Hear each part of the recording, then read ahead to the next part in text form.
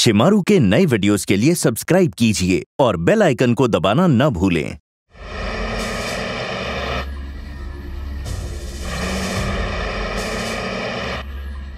Sir आप कहें तो मैं जवानों को कुलधरा गाँव को पीछे से घेरने को कहूँ। बत्ता देखो इस इलाके को मुझसे अच्छी तरह तुम जानते हो।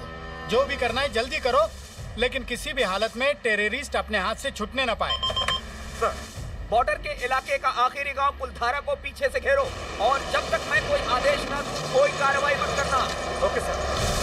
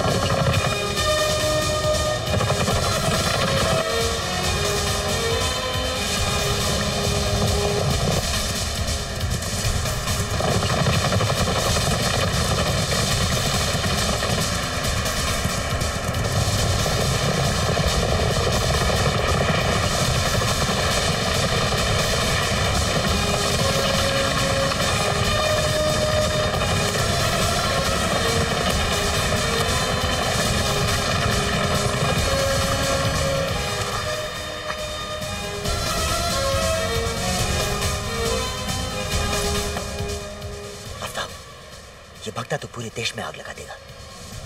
मैं हूँ ना तू डर।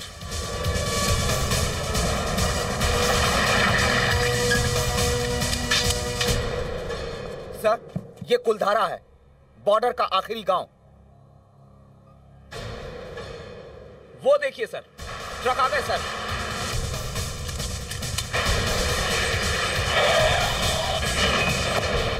चलो। सर मैं इस गाँव को अच्छी तरह से जानता हूँ। मैं दो जवानों को लेकर आगे जाता हूँ। आप दो जवानों के साथ मुझे कवर कीजिए। हाँ? कहा गया बगुला भक्ता? हाँ?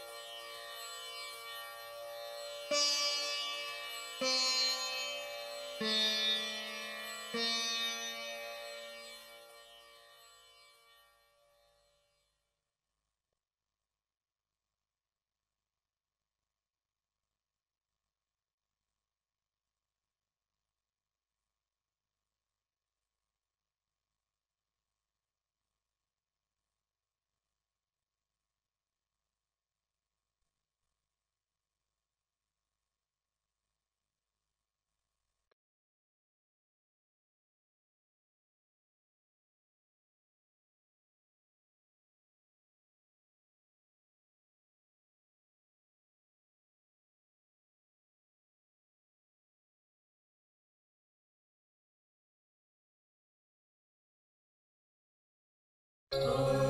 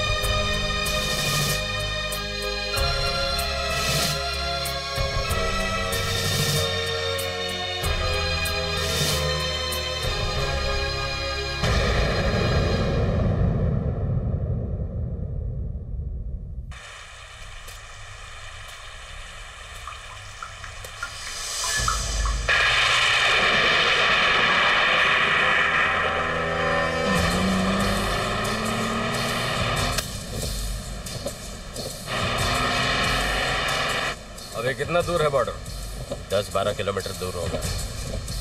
जल्दी गाड़ी आगे बढ़ा लो। नूरा पहुँच गया होगा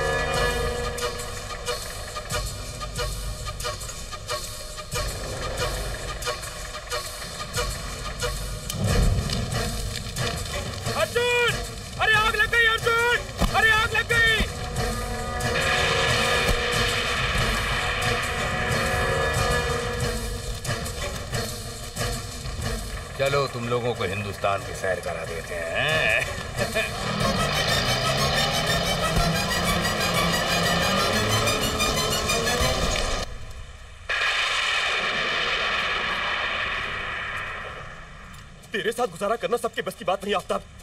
आफ्ताब, मेरी बात मान ले, वापस चल। देख, बॉर्डर पर चोरी करना बच्चों का खेल नहीं है। पकड़े गए तो मारे जाएँगे। आफ्ताब आफ्ताब, मेरी बात सुन, वापस चल आफ्ताब आफ्ताब क्या कर रहा है तू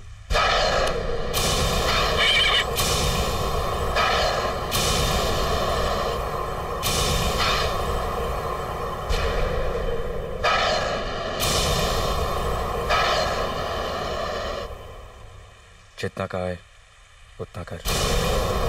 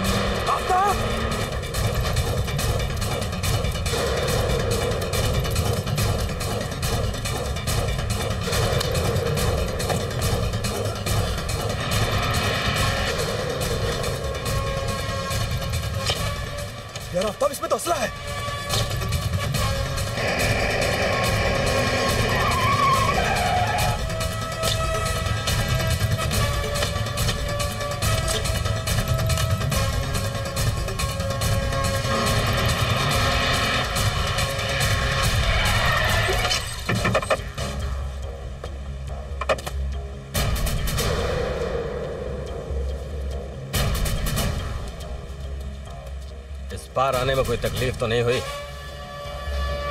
नहीं। तेरा आदमी सही जगह पर मुस्तैद था। जल्दी माल निकाल लो। एक घंटे में तुम्हें वापस जाना है वरना ड्यूटी बदल जाएगी। चलो।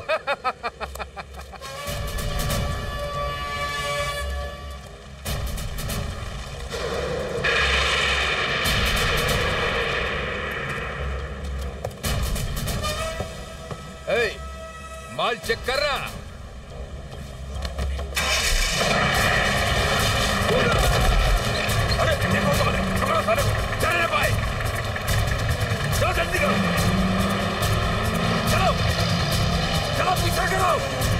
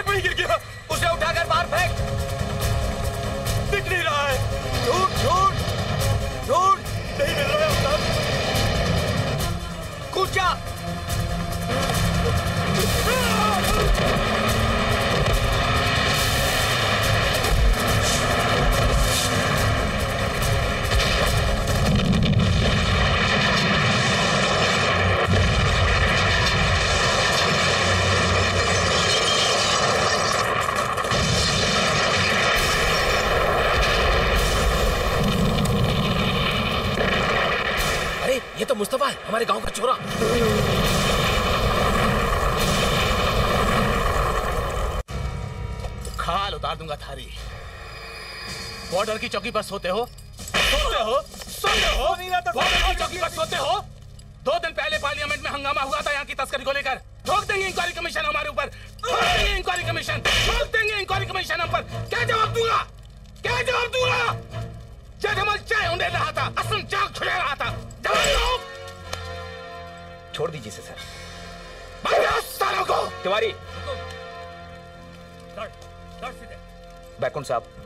आगे बीन बजाने से क्या फ़ायदा? ये तो मामूली प्यादे हैं। असली मलाई तो कोई और खा रहा है। कुछ तो करना ही होगा, भक्ता। ये राजस्थान है। यहाँ के रेत के बवंडर में बहुत कुछ छिपा है। मज़ा आएगा।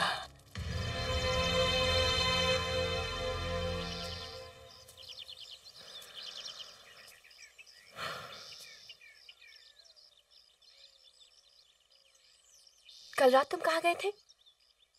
कहीं नहीं। झूठ बोल रहे हो तुम। मुस्तफ़ा ने मुझे बताया कि कल फिर तुम बॉर्डर गए थे। बहुत खूबसूरत लग रही हो तुम। हाँ आफ्ताब तुम जानते हो कल हम जम्मू जा रहे हैं रेहाना की शादी के लिए। उसके बाद अबू का तबादला हो रहा है धौलपुर में। तुम रिश्ते की बात करने कब आओगे घर? रिश्ते की बात तो हो गई। किससे? अपने रब से। देखो मज़ाक मत करो जन्नत की सैर करोगी? जन्नत? आओ। मुझ पे भरोसा है? थोड़ा थोड़ा। तो फिर आँखें बंद करो। क्यों? तुम्हारी आँखें इतनी खूबसूरत है कि इन्हें देखता रहा तो आज बस। तो आज क्या? जो मैं तुम्हें महसूस कराना चाहता हूँ उसमें अभी थोड़ा वक्त है। लेकिन आज मैं उस एहसास का एहसास दिलाना चाहता हूँ तुम्हें। महसूस करोगी?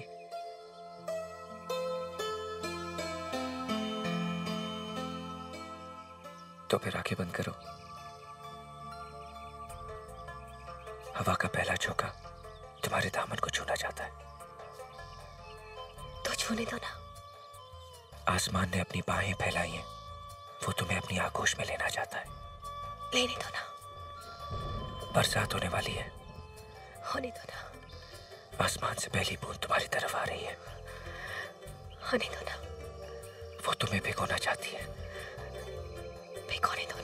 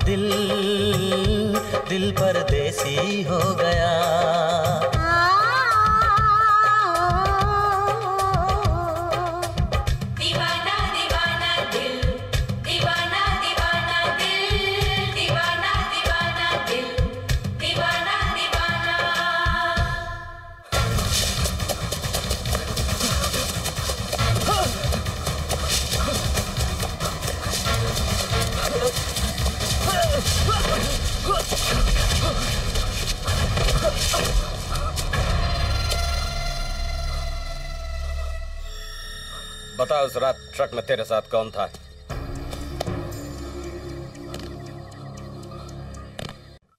अपने मुँह से क्या तारीफ़ करेगा? मेहनत से तो डरता ही नहीं मेरा बेटा। दो महीने में एक कारखाना खड़ा कर लिया है। खुदा की मेहरबानी से। ज़िंदगी मज़े से कट रही है। बस एक कमी है तो बहू की जो घर में आके राज करे। इसके अब्बा क्या करते हैं? जी वो हमारे साथ नहीं है। वो उनके साथ हैं जिन्हें शायद वो हमसे ज़्यादा चाहते हैं। कब हुआ इंतकाल? रुखसाना बेटी नहीं नज़र आई? अभी बुलाती हूँ। ठहरो बेगम। उससे पहले कुछ बातें साफ़ हो जाए तो बेहतर है। हम समझे नहीं। देखिए बहन जी हम भी राजस्थान के हैं। जात बिरादरी में उठना बैठना होता है। अब लोग आगा पीछा पूछेंगे तो क्या कहूँगा? शराफत बाज़ार से तो नहीं खरीदी जा सकती। वो तो खून में होती है।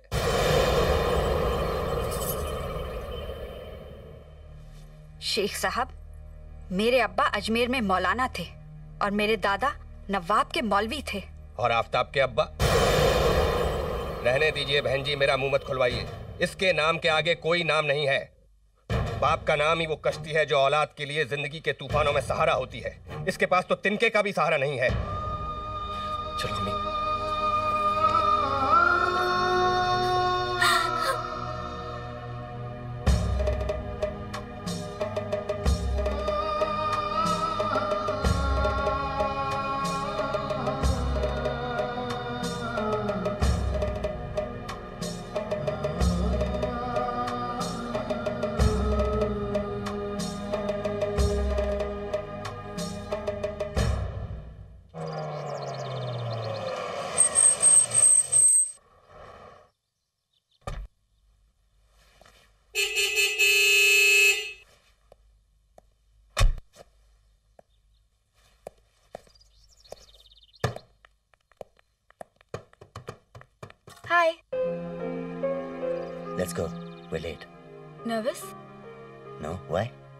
वकील ने मुझे सब कुछ बता दिया है जय।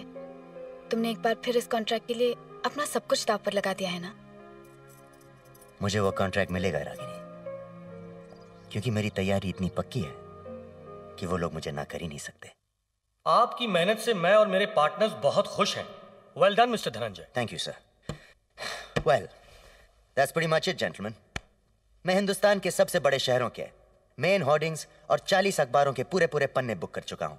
एडवांस पेमेंट जा चुकी है। आपका ये प्रोडक्ट एक तूफ़ान एक सैलाब की तरह आएगा सर और हिंदुस्तानी मार्केट पर काबू कर लेगा।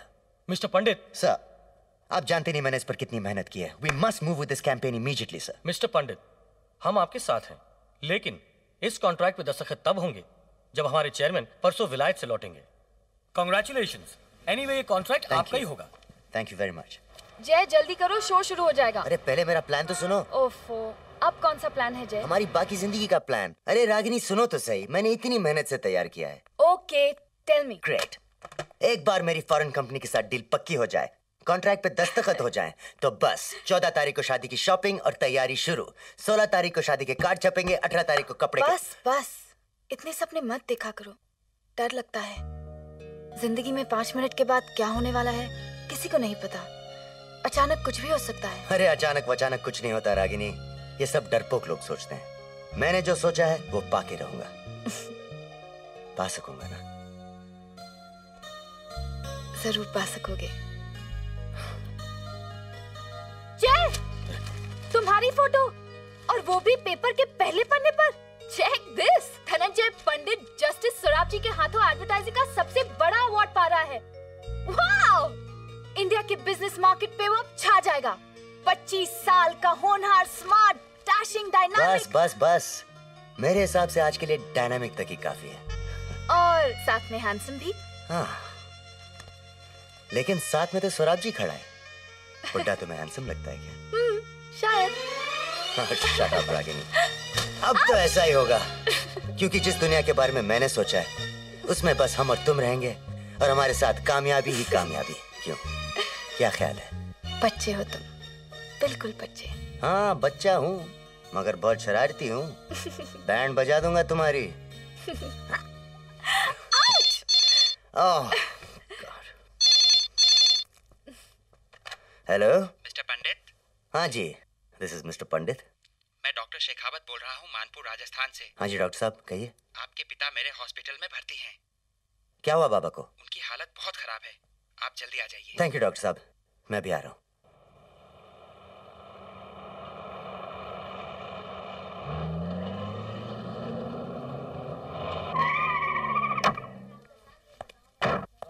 एक्सक्यूज मी एक्सक्यूज मी यहाँ का आईसीयू वार्ड का है? डू यू अंडरस्टैंड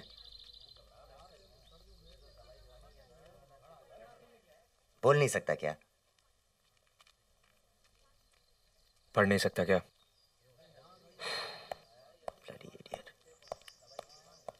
भाई साहब जी? मिस्टर रमाकांत पंडित का मिलेंगे? आइए हमारे साथ। बेटा। जी। सुनो तुम धनंजय हो? हाँ जी। जीते रहो। जी। बेटा तुम कौन है वो? बताती हूँ। बाबा ये सब क्या है? इतने महीनों से आपकी कोई खबर नहीं? और अचानक ये सब आपको फ़ौरन मेरे साथ वापस आना पड़ेगा और सब खत्म हो चुका है। डॉक्टर जवाब दे चुके हैं। मुझे तुम्हारे साथ बहुत ज़रूरी बात करनी है। कुछ बोलोगे नहीं? क्या सुनना चाहती हो? कि मैं अपने बाप के बारे में जानकर बहुत खुश हूँ। उसके होने ना होने से कुछ नहीं बदला। मैं तो आज भी वही हूँ। किसी की ना नाजायज औलाद। ऐसा मत बोल बेटा। वो तुझे अपना नाम देना चाहते हैं। मुझे किसी के नाम की ज़रूरत नहीं। मेरा नाम आफ्ताब है और मेरी कहानी इसी से शुरू होती है और इसी पे खत्म होगी। मैं और मरियम दोनों एक दूसरे को बहुत प्यार करते थे और शादी करना चाहते थे। लेकिन उन दिनों एक हिंदू लड़के से मुसलमान लड़की की शादी फिर भी तुम्हारे दादा से इजाज़त लेने के लिए मैं कलकत्ता से बंबई आया। लेकिन किस्मत देखो, तभी पाकिस्तान और हिंदुस्तान के बीच सन इकहत्तर की लड़ाई शुरू हो गई। और एक दिन अखबार में मैंने मरने वालों में मरियम का नाम पढ़ा। बस, हार मान ली मैंने। और कुछ दिनों के बाद तुम्हारी माँ से मेरी शादी हो गई। लड़ाई के आखिरी दिनों में पता चला कि तू मेरी कोख में है। मैं उनसे मिलने बम्बई गई। वो तो नहीं मिले। लेकिन उनकी बीवी ने अपने बसे बसाए घर का वास्ता देकर मुझे लौटने पर मजबूर कर दिया। और बेटे मरते वक्त तुम्हारी माँ ने बताया कि मरियम ज़िंदा है और और मेरा बच्चा उसके साथ है। कई महीनों की तलाश के बाद आखिर उन्होंने मुझे ढूंढ लिया। उस दिन से बस वो तुम्हें मिलने की भीख मांगते रहे और मैं उन्हें मना करती रही, क्योंकि मैं जानती थी कि तुम्हारी ज़िंदगी की सारी कड़वाहट, सारी नाराज़गी का सारांश वो आदमी है। बेटा, मैंने डर को कभी अपने नज़दीक आने नहीं दिया। लेकिन जब मुझे एहसास हुआ कि तू मेरी कोख में है, मेरे अंदर से आवाज़ आई, क्या मुझे हक है इस बच्चे को दुनिया में लाने का? ये जानते हुए कि मैं एक नाजायज औलाद पैदा करने जा रही हूँ। ये जानते हुए कि दुनिया का हर आदमी अपनी कमज़ोरी को छुपाने के लिए इस बच्चे को अपनी इज़्ज़त की ढाल बनाएगा। तब मेरे अंदर से जवाब आया मेरे इस फैसले को पाक बनाना सिर्फ़ मेरे बच्चे के हाथ में होगा। तू चाहती है ना मैं उससे मिलूं? चल। इस तरह नहीं बेटे। मैं इतना बड़ा नहीं हूँ। जो अपनी सारी ज़िंदगी का जहर एक ही घोट में पी जाऊँ।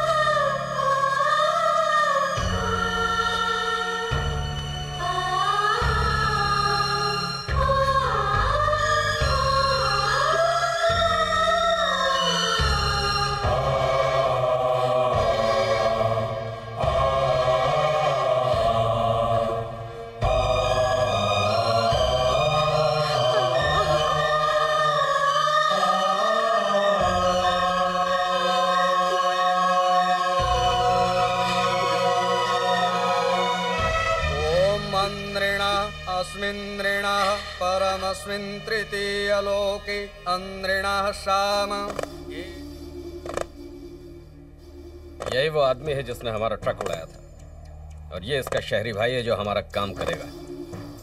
इसी तरह आत्मा पुराने शरीर को त्याग कर नए शरीर को धारण करती है। और शास्त्र कहते हैं, पिता की मृत्यु के बाद उनके अधूरे संस्कार, उनके सारे संकल्प, सारी इच्छाएँ, सब कुछ बड़े बेटे को ही पूरा करना है। पिता के वंश को आगे बढ़ाना है और पिता के सारे सांसारिक रिश्ते नातों को मन, वचन कर्म से अपना लेना है। अब वो ही उसका उत्तराधिकारी है। बड़ा बेटा आगे आए और मुखाग्नि दे।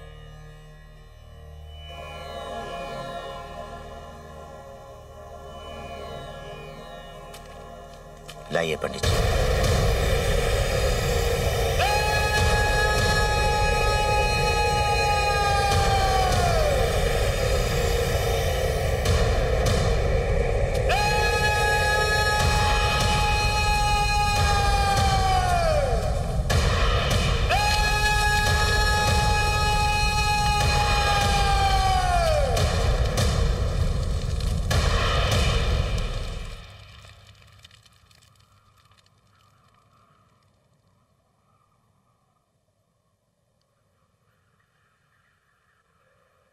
इस सोमवार के अगले सोमवार एकादशी है बेटा। बहुत शुभ दिन है। उसी दिन आके अस्थियाँ ले जाना और विसर्जन कर देना। बहुत शुभ रहेगा।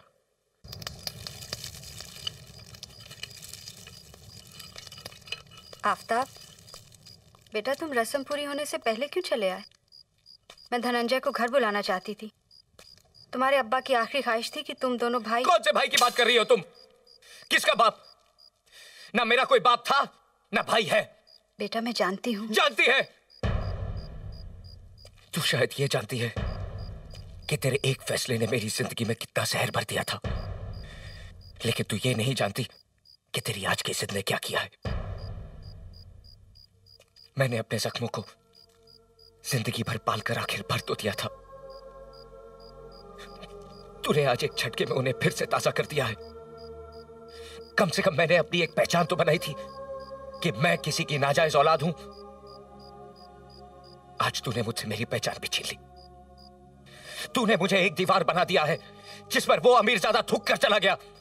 मुखाग्नि हिंदू रस्म है। शायद तुम्हारे मुसलमान होने के नाते। बात मज़हब की नहीं है। बात हक की है। तू जानना चाहती है ना कि मुझे जन्म देने का तेरा यह फैसला सही था? या गलत? तो सुन, तेरा यह फैसला गलत था। तूने मुझे कोख में ही मार दिया होता।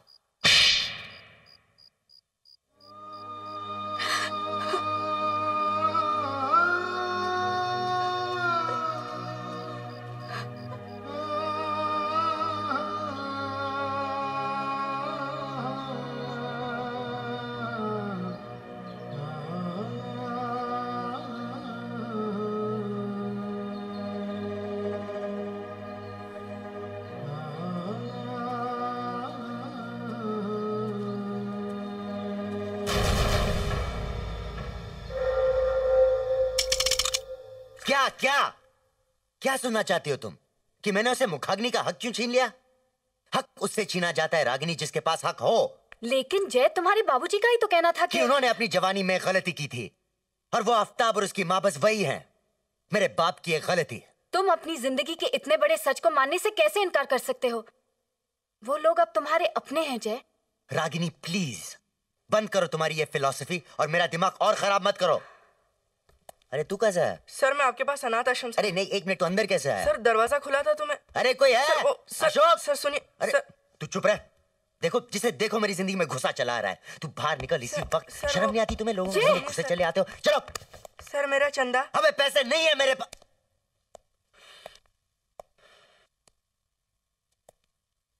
क्या सोच रहे तू? तू यही सोच रहा है ना कि साहब के पास इतना बड़ा घर है लेकिन चंदे के लिए पैसे नहीं है यही सोच रहा है ना तू? नहीं सर। नहीं नहीं सोच सारी दुनिया यही सोचती है। धनंजय पंडित क्या नहीं है उसके पास? आलीशान मकान एसी गाड़ी खूबसूरत गर्लफ्रेंड लेकिन सच सुनना चाहोगे तुम? तो सुनो सच तो यह है कि वो गाड़ी ये मकान मेरा सब कुछ बैंक के पास गिरवी रखा है। जानते हो क्यों? क्योंकि मुझे एक कॉन्ट्रैक्ट चाहिए सिर्फ़ एक कॉन्ट्रैक्ट जिसके लिए पिछले पाँच साल से मैं दिन रात मेहनत कर रहा हूँ जिसके लिए मैंने अपना सब कुछ दाव पे लगा रखा है। समझ गया? अब तू एक काम कर दो दिन बाद आ। अगर मुझे वो कॉन्ट्रैक्ट मिल गया तो चंदा तो क्या मैं तेरे लिए एक नया अनाथ आश्रम खड़ा कर दूँगा? लेकिन अगर नहीं मिला तो मैं भी तुम्हारे साथ कटोरी लेके घूमूँगा। हम्म? अब तू ये ले और जा। थैंक यू सर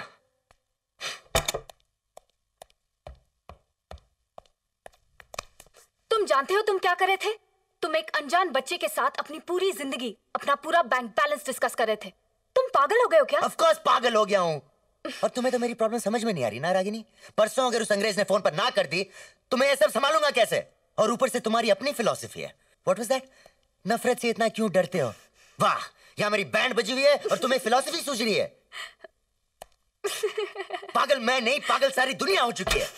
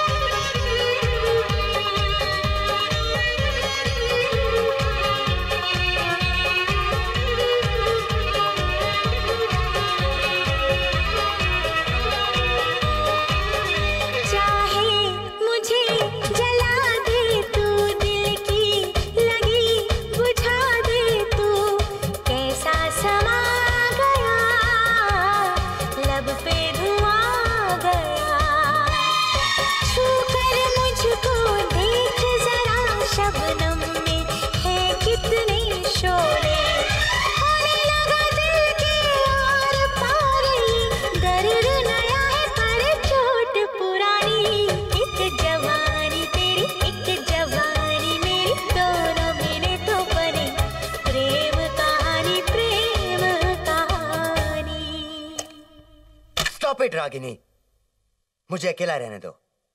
तुम जाओ यहाँ से।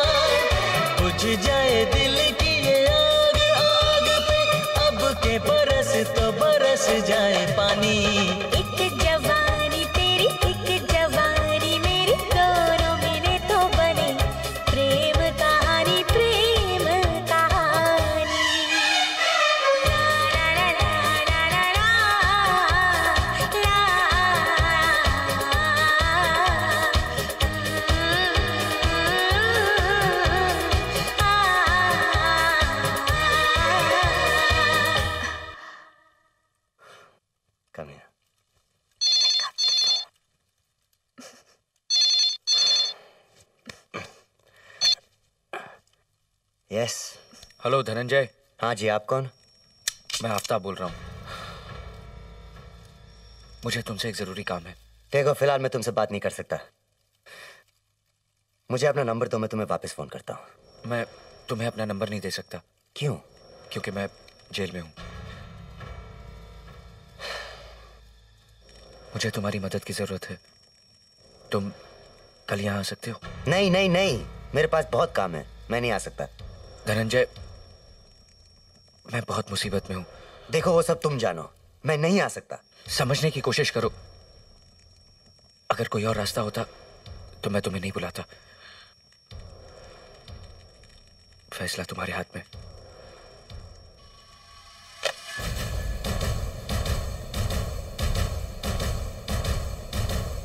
जय। रिलैक्स जय। फौजी।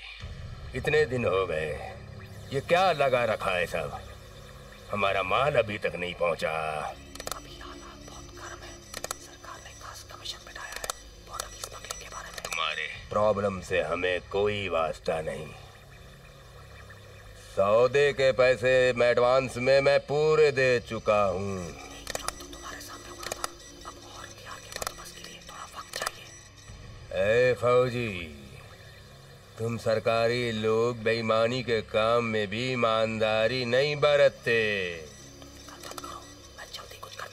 जो आदमी हमारा काम नहीं कर सकता उस आदमी को हम किसी काम के लायक नहीं छोड़ते। याद है मेजर जसवंत?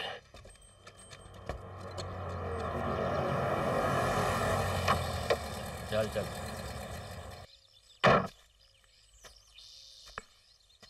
आफ्ताब से मिलना है क्या? हाँ। वो घर पे नहीं है? तो फिर कहाँ मिलेगा वो? आओ मेरे साथ। तुमने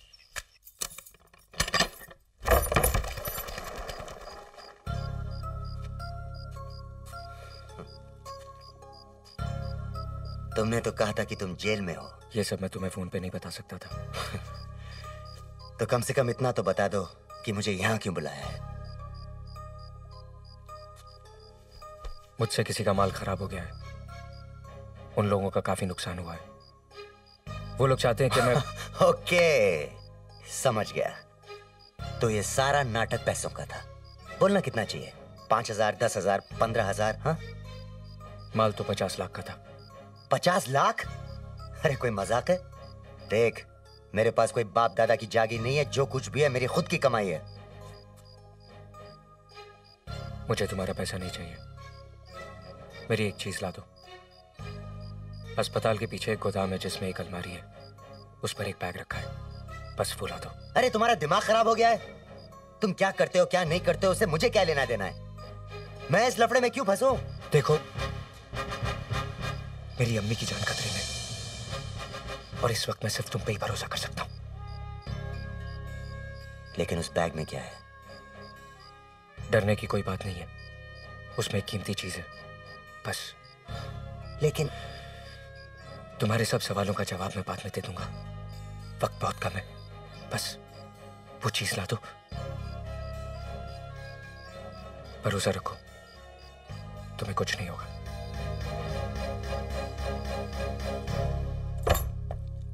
क्यों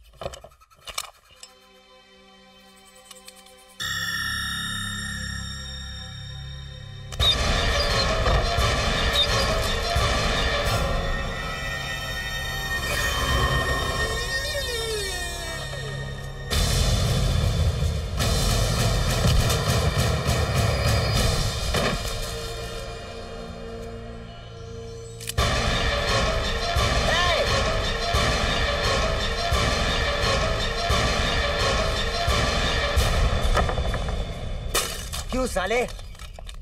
तूने तो कहा था कि वहाँ कुछ भी नहीं है। देख देख इसे। वहाँ किसी की लाश पड़ी हुई है। खून हो गया किसी का।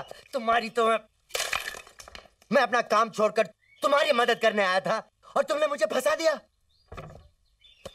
औकात दिखा दी ना अपनी। क्यों फंसाया मुझे? बोल, चाहते क्या हो तुम? मुझे तुम पर भरोसा नहीं करना चाहिए था कभी। बंदूक लेके खड़ा हूँ, किसी ने मेरी फ़ोटो खींच ली। हाथ मत लगाना मुझे। रुक जाओ।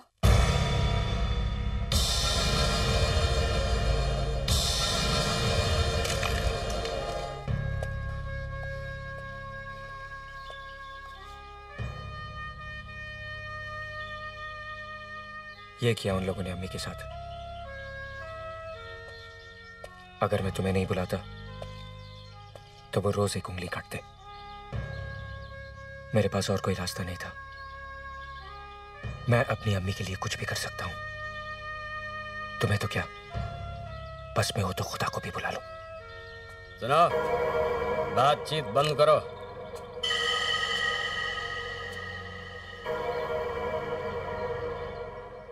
चलो मेरे साथ।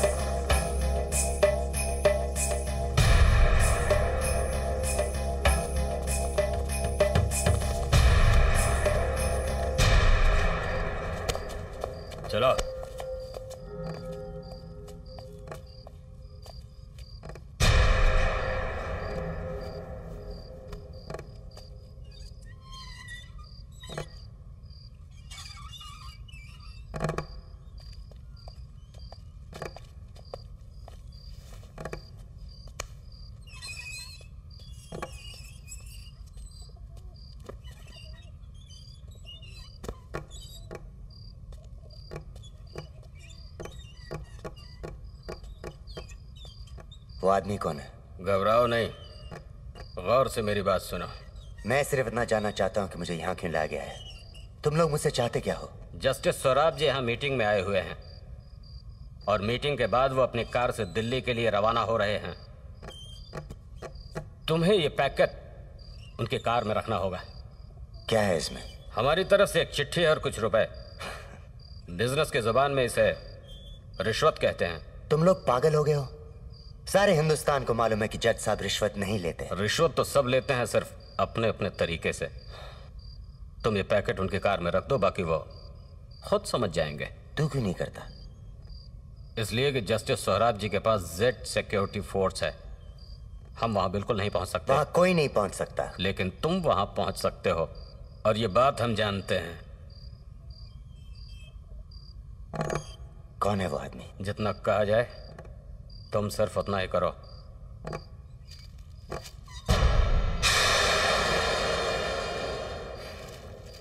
तुम लोग अपना होमवर्क कर चुके हो।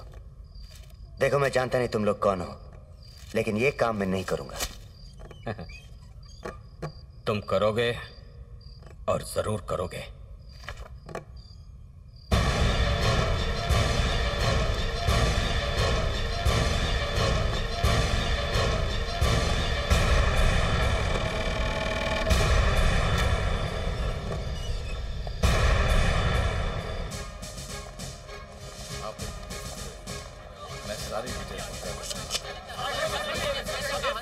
एक्सक्यूज मी सर आपको स्टेटमेंट देना चाहेंगे सर हाँ।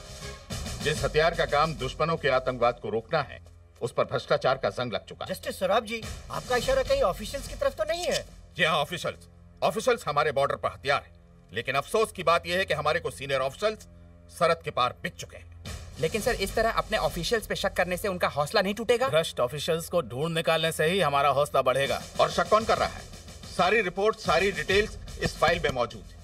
मैं दिल्ली जा रहा हूँ और 24 घंटे के अंदर इसमें से सच निकाल लूँगा और उस सच को पार्लियामेंट्री कमेटी के सामने रखूँगा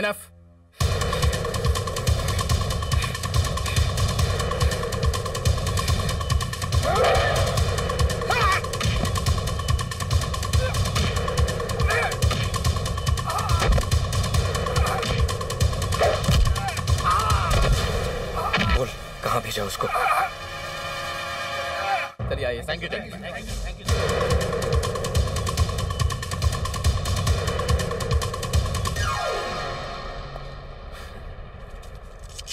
justice Swaraj ji. Mister Dhananjay Pandit हाँ am I correct yes sir या क्या कर रहे हैं आप? आपको ढूंढते हुए आ गया सर मुझे? इट्स ऑल राइट मैं जानता हूँ इन्हें। हम्म सो सर मैं मैं इंडिया के मौजूदा हालात पे एक डॉक्यूमेंट्री फ़िल्म बना रहा हूँ सर हाँ हाँ जिसमें आप मेरे हीरो हैं। मैं? आओ भ्रष्टाचार के खिलाफ जिस तरह आप लड़ रहे हैं सर उस पर यह फ़िल्म बनेगी। मैं साबित करना चाहता हूँ सर कि एक ईमानदार ऑफिसर देश के कोने कोने में घूमकर भ्रष्टाचार के खिलाफ सबूत किस तरह इकट्ठे कर रहा है। मेरा कैमरा आपके कार तक में आपके साथ जाएगा सर ताकि मैं आपका हर पहलू दिखा सकूँ। सर आप जैसे लोग तो हिंदुस्तान की नौजवानों में जागृति लाएँगे। I really appreciate your help भाई मैं तुम्हारे साथ हूँ, लेकिन इस वक्त जरा जल्दी में मुझे दिल्ली में कॉल करना। Thank you sir thank you best. Your honour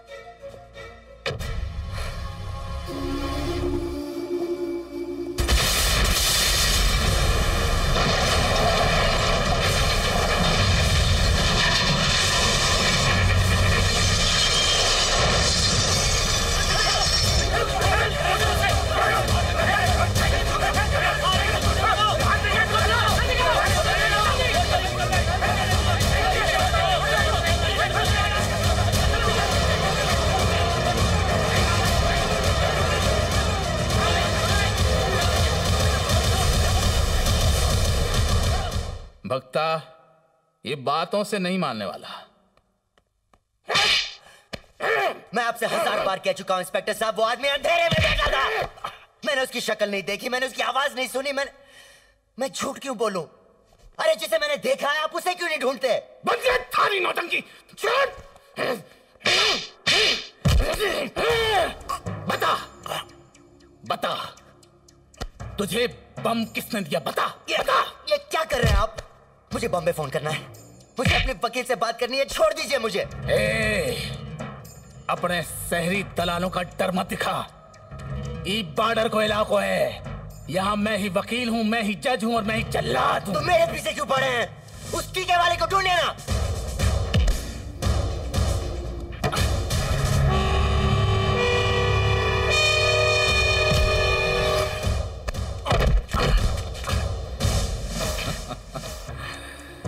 क्यों? ताले पड़ गए ना थारी जबान पे, हैं? अब मैं तुझे बताता हूँ। तू और थारो भाई, वो मरियम को छोड़ा। तुम दोनों मिलके इस इलाके में हथियारों की तस्करी करते हो। हाँ! वो यहाँ देहाती और तू सफ़ेद पोस्ट अच्छा अच्छी जोड़ी है। हाँ अच्छी जोड़ी है। अरे मेरा उससे कोई लेना देना नहीं है लेकिन उसी आदमी ने मुझे फंसाया है। आप उससे क्यों नहीं पूछते? उससे भी पूछेंगे। भक्ता बुला भेज साले को। बुलाने की कोई ज़रूरत नहीं।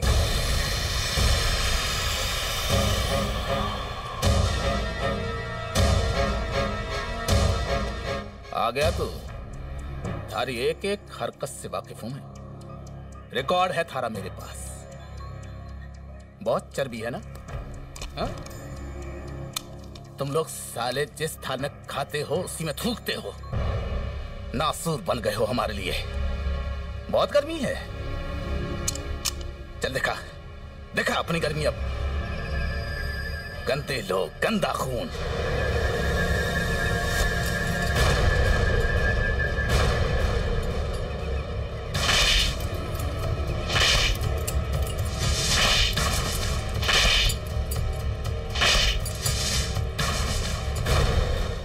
घूर कर क्या देखता है? नज़र नीची कर। नज़र नीची कर।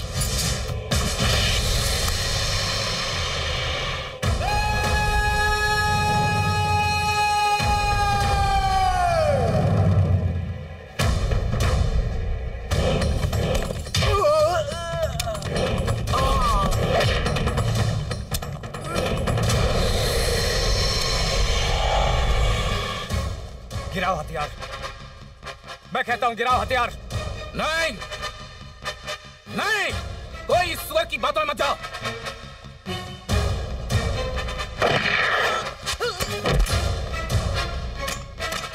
धनंजय बंदूक लो आफ्ताब बंदूक लो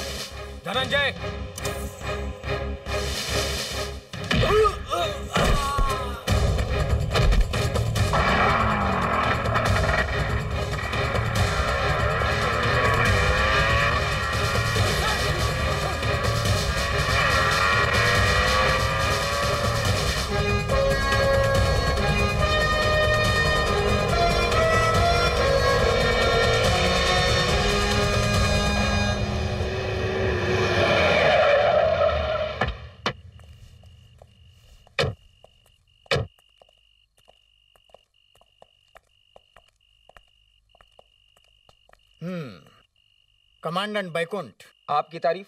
मैं सीबीआई से हूँ। Assistant director Manohar Singh Jadeja. तो हम क्या करें? हम नरीमन सोराब जी की हत्या की इन्वेस्टिगेशन के लिए आए हैं। किस चीज़ की छानबीन करेंगे आप? हैं? केस बिल्कुल सीधा साधा है। दोनों भाई आतंकवादी हथियारों की तस्करी में घुसे हुए थे। लगा कि सोराब जी उन्हें पकड़वा देंगे इसलिए गाड़ी में बम रखकर उड़ा दिया उन्हें। पूछताछ के दौरान कबूल भी किया है लौंडे ने। हम्म फिर भी मैं उनसे बात करना चाहता हूँ। वो दोनों तो अभी अभी यहाँ से फरार हो गए। और आप लोग क्या खड़े खड़े उनके आने का इंतज़ार कर रहे हैं? नहीं वो साले गाँव के छोरे आजकल बड़े खतरनाक हो गए हैं। अरे बैकुंठ साहब के कनपट्टी पे गन रखकर भाग दे बस ये रेडियो ठीक हो जाए तो सारे चेक पोस्ट पर खबर कर दूँगा। मैं इन्वेस्टिगेशन की रिपोर्ट और एफआईआर देखना चाहता हूँ। आप शायद ये भूल रहे हैं कि केस मेरा भी है। मैं आपसे कह रहा हूँ कि मैंने छानबीन कर ली है मिस्टर बैकुंठ। मैं सिर्फ़ अपना काम कर रहा हूँ।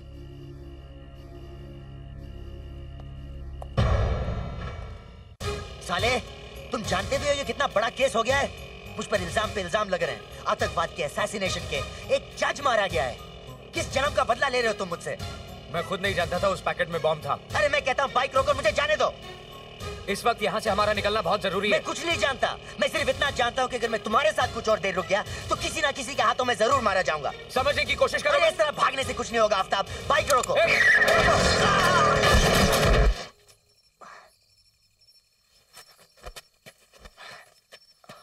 साला काली ज़ुबान। ओह शिट अब क्या करेंगे? हम हैं कहाँ? अरे यार मुझे बॉम्बे पहुँचना है मुझे अपने वकील से बात करनी है।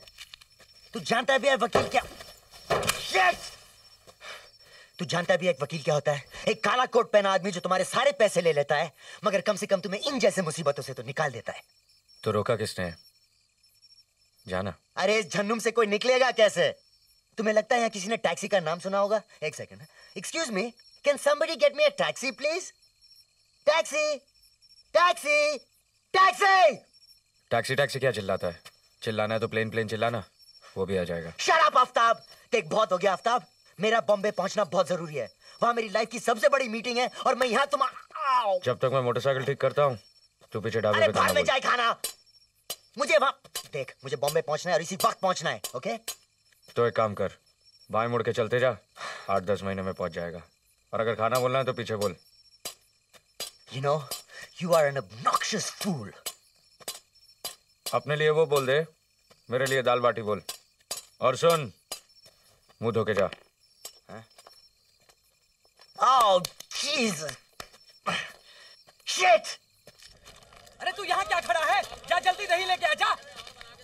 साहब साहब साहब बंजारे आए हैं। अरे तू उसके छोटे छोटे टुकड़े करके तड़का मार जा। ओफो बंजारे बंजारे नाचने गाने वाले। आ, नाचने वाले? हाँ। अरे वाह मतलब आज रात नाच होगा गाना होगा हाँ। वो भी मक्खन मार के। भाई साहब यहाँ पे खाना मिलेगा? गाना? थोड़ी देर में शुरू होने वाला है। गाना। खाना खाना फ़ूड फ़ूड ओह अरे साहब रुकिए तो सही।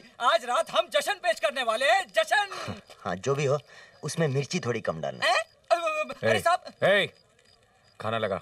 अरे साहब आप आइए आइए आइए आइए आइए। यहाँ बैठिए यहाँ बैठिए। हाँ, आप भी बैठिए। साहब पहले आप गर्मा गर्म गाना देखिए। तब तक मैं आपके लिए गर्मा गर्म खाना लाता हूँ। ये लीजिए लीजिए ये लीजिए। पी कर देखिए देख कर पीजिए। अरे वाह क्या गाना है? वाह वाह वाह। शुरू तो होने दे।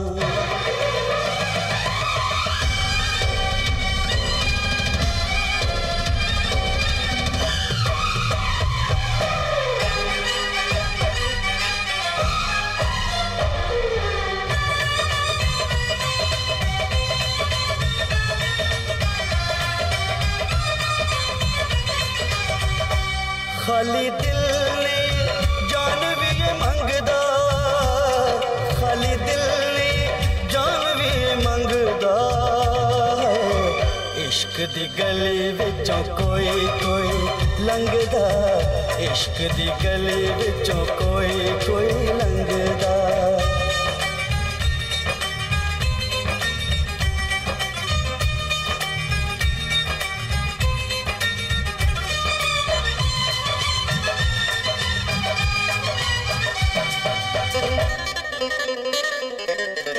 जोगियों के पीछे जैसे जोग लग जाता।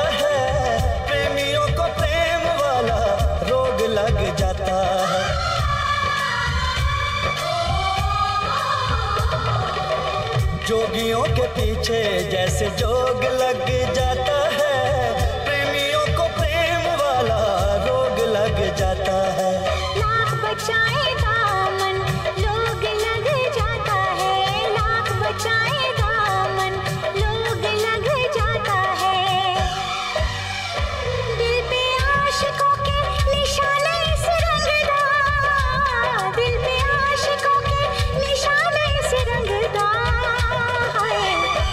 इश्क दी गली विचों कोई कोई लंघदा इश्क दी गली बिचों कोई कोई लंघदा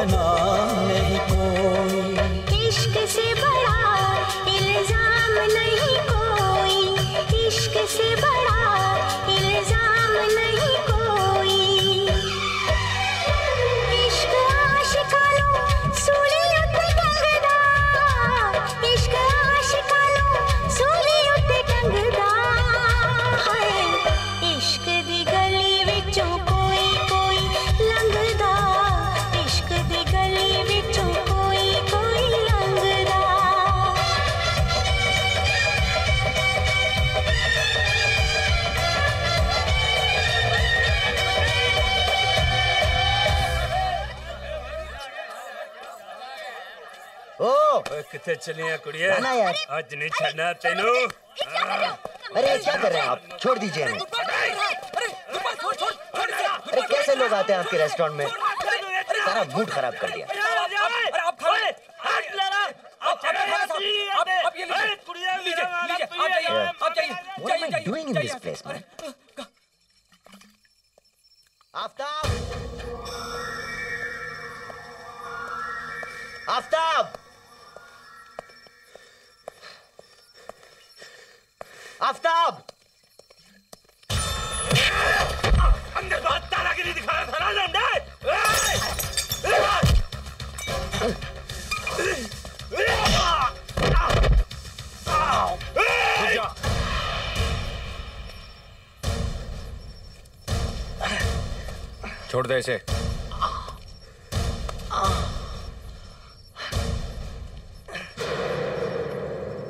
साला हराम की औलाद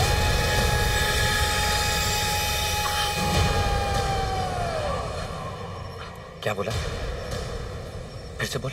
और क्या बोलेगा तेरे को? साला हराम की औलाद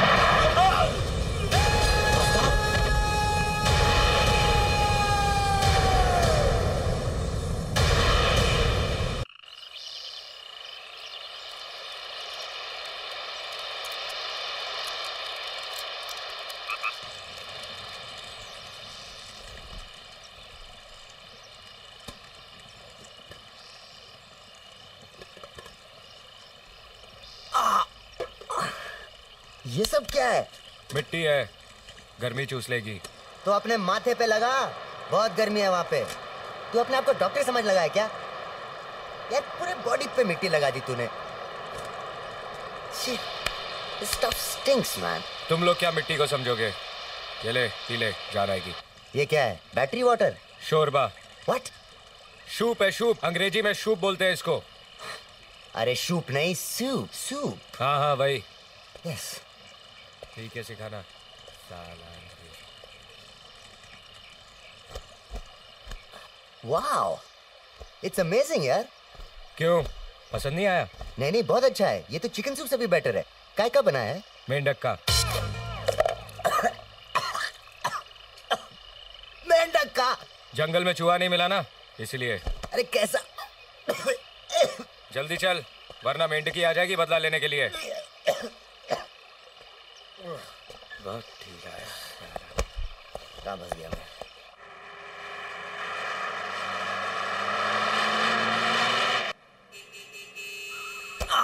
जान ले कि पीछा छोड़ेगा क्या?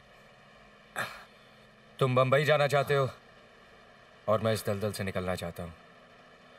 और बकबक करने के लिए मेरे पास वक्त नहीं। तो तुम्हें कौन मुँह लगा रहा है? कड़वी जबान कड़वा आदमी। तुम क्या टपके मेरी ज़िंदगी में? कभी खून कभी लाश कभी बम ब्लास्ट कभी, कभी पाँच मिनट चुप भी रहा करो। तुम्हें मेरी आवाज़ पसंद नहीं है? मुझे तुम्हारी शक्ल पसंद नहीं है।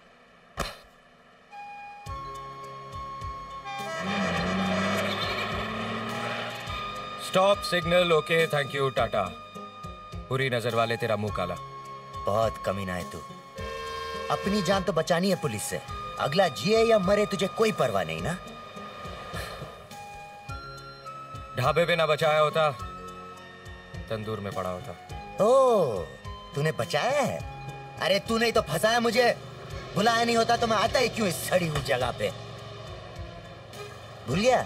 हेलो धनंजय मैं बहुत मुसीबत में हूँ। मुझे बचा लो मुझे तुम्हारी ज़रूरत है। रहम किया मैंने तुझ पर। बड़े बाप की औलाद है इसलिए फंसा है तेरे सूट बूट तेरे पैसे तेरे रुतबे ने फंसाया तुझे। उन लोगों को तेरे जैसा हिसाब चाहिए था सौराब जी तक पहुँचने के लिए। जलता है तू। मेरे पैसे पे, मेरी कामयाबी पे, मेरी पहचान पे, मेरे जायज़ होने पे जलता है।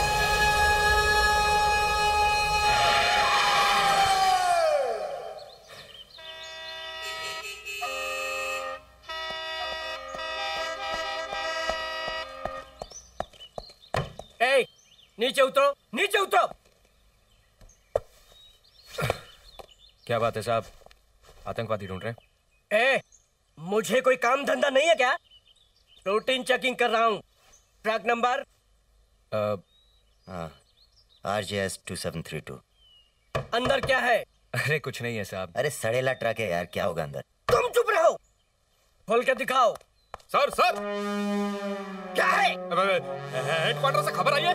दो आतंकवादी एक ट्रक चुरा के भागे भागे हैं तो यहाँ थोड़े ही आएँगे। प्रेमनाथ चौबे के इलाके में आज तक कोई आया है? कोई नहीं। एनीवे ट्रक का नंबर या उनका हुलिया मिला? हाँ सर ट्रक का नंबर तो मैं भूल गया। और हुलिया उन्होंने बताया था कि एक अंग्रेज़ है और दूसरा पठान है। उसके बाद रेडियो खराब हो गया सर।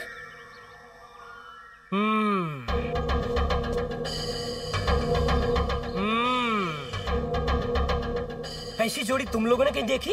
अब नहीं।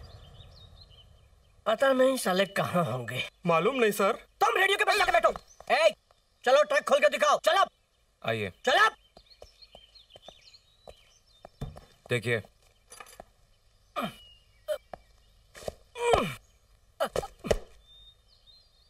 हवलदार! जी साहब। देखो अंदर क्या है। नहीं साहब। अंदर कुछ नहीं है ट्रक बिल्कुल खाली है। ठीक है जाने दो ट्रक को। चलो चलो चलो जाने दो। ओह नो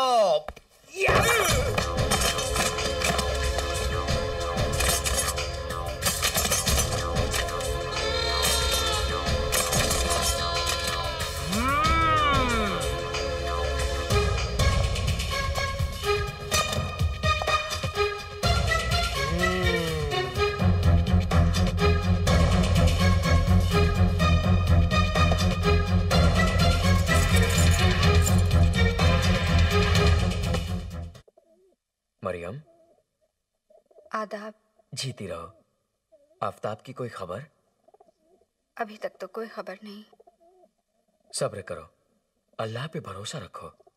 पर वो तो अल्लाह को मानता ही नहीं।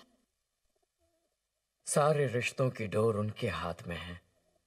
जिस दिन वो डोर खींचेंगे तेरा बेटा अपने आप खींचा चला आएगा तुम्हें क्या लगता है? अब क्या होगा? जो होना है वही होगा। मुझे लगता है मैं अथॉरिटीज को सब कुछ बता देना चाहिए। हाँ सब बता देना चाहिए।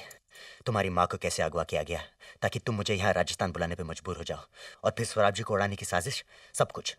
हाँ। मैं इनको बहुत अच्छी तरह से जानता हूँ। ये सिर्फ़ बलि का बकरा ढूंढ रहे हैं। ये बात अब हम दोनों की हो चुकी है आफ्ताब। और कानून की मदद मांगने से तुम्हारी मर्दानगी कम नहीं हो जाएगी। तू अपने आप को बचाना चाहता है ना? तो जा। हाथों में चूड़ियाँ पहन ले और अपनी रिहाई की भीख मांग ले दरोगा से। जा अपने बाप के नाम के पीछे जाके छुप जा। कहाँ है वो दोनों? आइए आइए सब जल्दी आइए। मैंने उन दोनों को पकड़ रखा है। मैंने मैंने मैंने साले तुम लोग क्या मार रहे थे? चलो।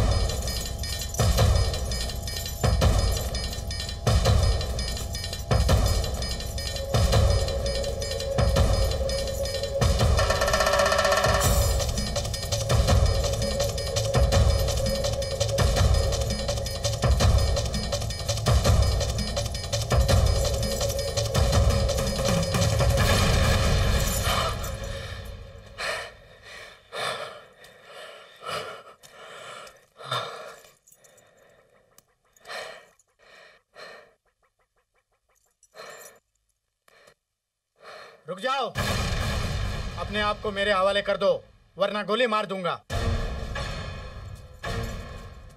कम कम कम कम। मैं सीबीआई ऑफिसर जडेजा हूँ। ये केस मेरे अंडर है आप लोग अपने आप को मेरे हवाले कर दो। देखिए सर हम दोनों बिल्कुल बेकसूर हैं। मैं जानता हूँ मैं जानता हूँ मैं आप लोगों को मदद करने के लिए तैयार हूँ लेकिन पहले आप लोग अपने आप को मेरे हवाले कर दो। आओ आओ आओ। ए, ये क्या कर रहा है तू? तुम मुझे नहीं मार सकते। एक आदमी को तो पहले ही मार चुका हूँ। लेकिन वो ज़िंदा था। वो तुम्हारे हाथों नहीं मरा। किस्मत अच्छी थी साले की जो मेरे हाथों नहीं मरा। मैं जानता हूँ तुमने उसके ऊपर गोली क्यों चलाई। क्योंकि मैं तुम्हारे और तुम्हारी माँ के बारे में सब कुछ जानता हूँ।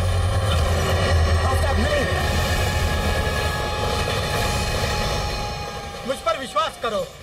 मुझ पर विश्वास करो मैं तुम दोनों को इंसाफ दिलाऊँगा।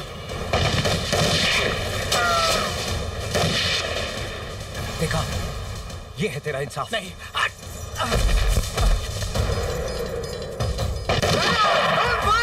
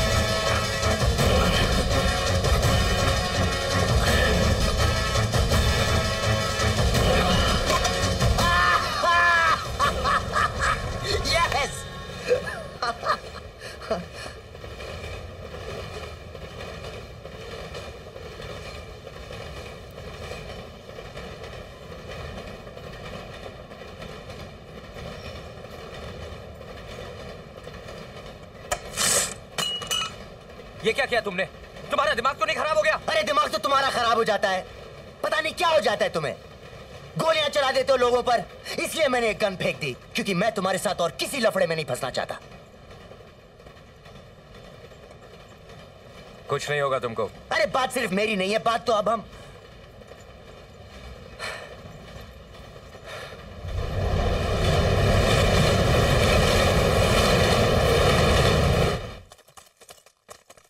भक्ता सर पता कर इस ट्रेन का अगला स्टेशन कौन सा है? सीबीआई की बातों में आएँगे तो हम अपनी नौकरी से हाथ धो बैठेंगे। देखिए बैकुंठ साहब मैं यहाँ सोराब जी की केस की जज ढूँढने आया हूँ। अपने बहादुरी के नमूने दिखाने नहीं। मुझे शक हो रहा है मिस्टर जडेजा आपके इरादों पर। रपट भेजूँगा मैं हेडक्वार्टर अरे कौन सी रपट?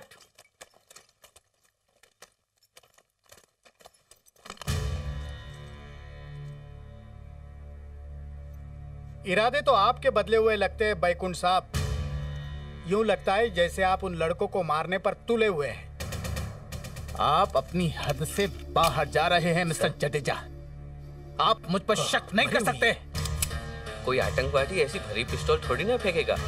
आपको क्या लगता है? मुझे भी वही लगता है। लेकिन अगर वो बेकसूर है तो उन्हें कौन फंसा रहा है? चलो।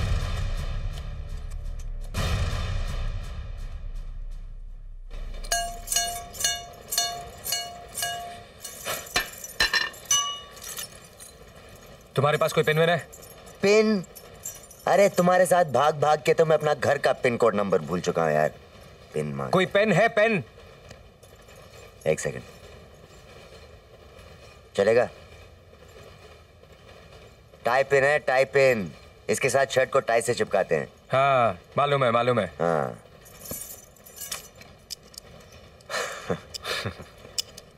लगता है बिन चाबी के ताले खोलने की आदत है तुम्हारी।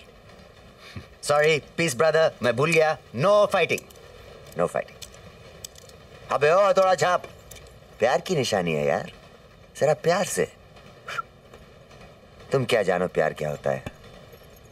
प्यार की खुशबू का नशा क्या होता है? आँखों से आँखों तक का पता क्या होता है? जब प्यार करने वाली का साथ होना तो इंसान दुनिया से अकेले लड़के भी जीत सकता है. लेकिन तुमने कभी किसी से प्यार किया हो तो जानो ना. तुम जानते क्या हो मेरे बारे में? व्हाट डोंट टेल मी तुमने कभी किसी से प्यार किया है? कहा? मानपुर की रेत में? या चांदनी के नीचे? शराब। वाह! अंग्रेज़ी में? सीखा भी तो गाली हाँ? ओ रागिनी। याद है जिस दुनिया के बारे में हमने सोचा था? या वो एक खूबसूरत सपना था? या ये एक भयानक हकीकत? ओ रागिनी, कहा हो तुम? कहा हो तुम?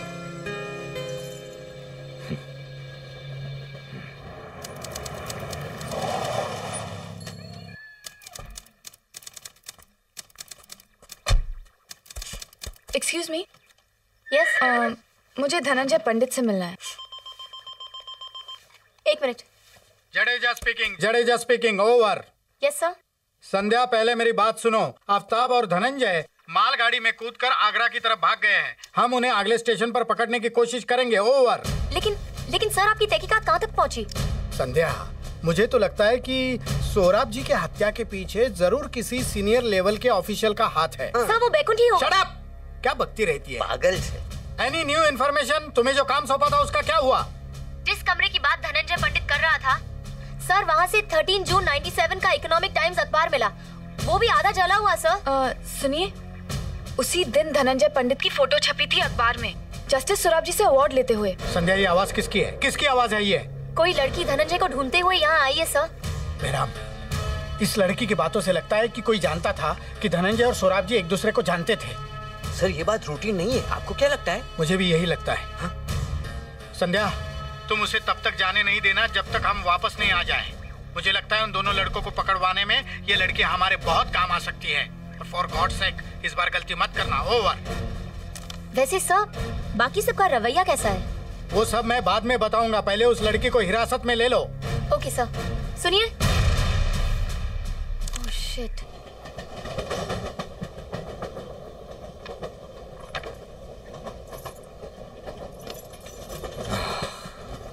कहाँ पहुँचे हम? हम तो वहीं के वहीं हैं। ट्रेन चल रही है। लड़की का फ़ोटो वो भी तेरे पास? इसका मतलब कि तुम्हारी ज़िंदगी में भी कोई था? क्या हुआ? बात नहीं बनी? ब्यूटीफुल गर्ल दिल तोड़ दिया होगा तूने इसका। झगड़ा कर दिया होगा इसके साथ। और कर ही क्या सकता है तू? उसके घर वालों ने रिश्ता तोड़ दिया। और करेंगे क्या बेचारे? रिश्ता तो टूटना ही था। तुम्हारे पास पैसे नहीं होंगे अच्छी नौकरी नहीं होगी।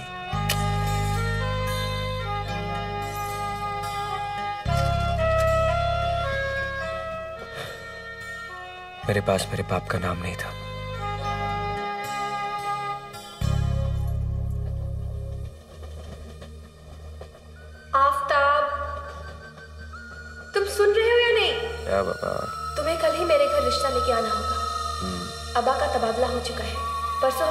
जा रहे हैं और उसके बाद हमेशा के लिए था आ जाऊँगा।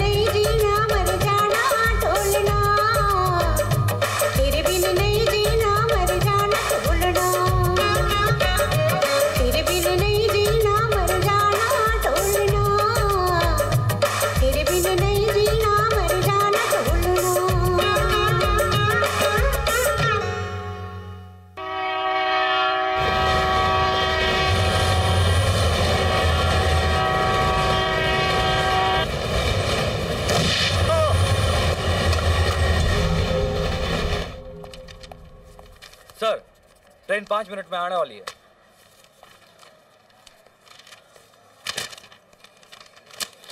अब देखता हूँ साला जडेजा कैसे आता है मेरे रास्ते में।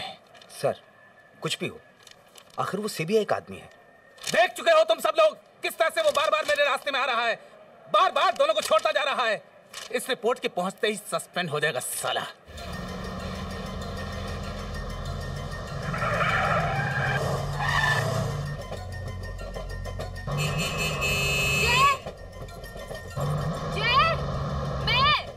रागिनी हाय। आगे पुलिस तुम लोगों का इंतज़ार कर रही है स्टेशन पर। तुम लोग ट्रेन से उतरो। I love you too baby idiot मैं वो नहीं कह रही हूँ। आगे पुलिस तुम लोगों का स्टेशन पर इंतज़ार कर रही है। They waiting for you what अबे इडियट अंग्रेज़ी में बोल रही है समझने की कोशिश कर। आई कांट हियर यू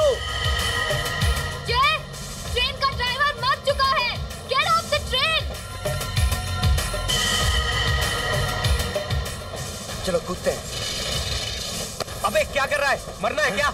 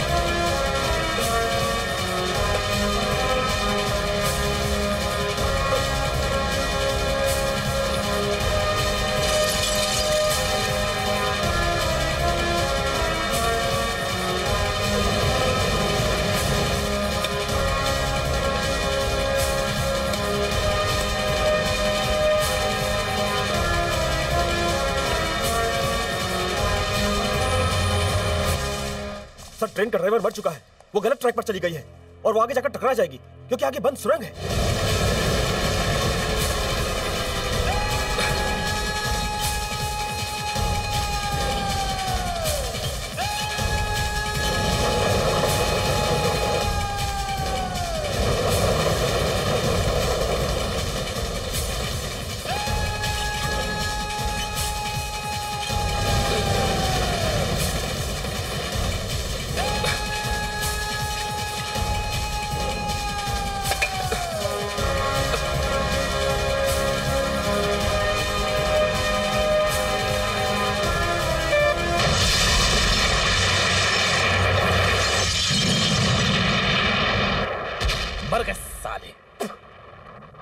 आसानी से मरने वाले नहीं है, सर। वो देखिए। भक्ता, सर, इनकी गाड़ी के बारे में सारे चेक पोस्ट को खबर कर दो। नाकाबंदी करवा दो। आसपास के सारे रेलवे स्टेशन और एयरपोर्ट्स के बारे में मुझे बताओ। सर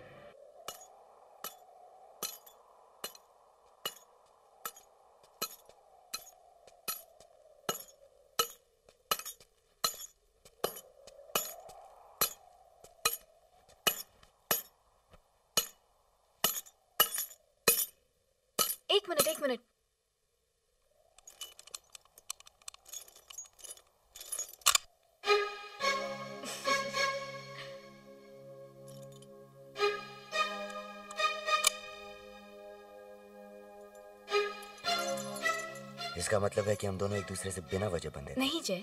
बिना वजह नहीं। इसके पीछे भी कोई बात होगी।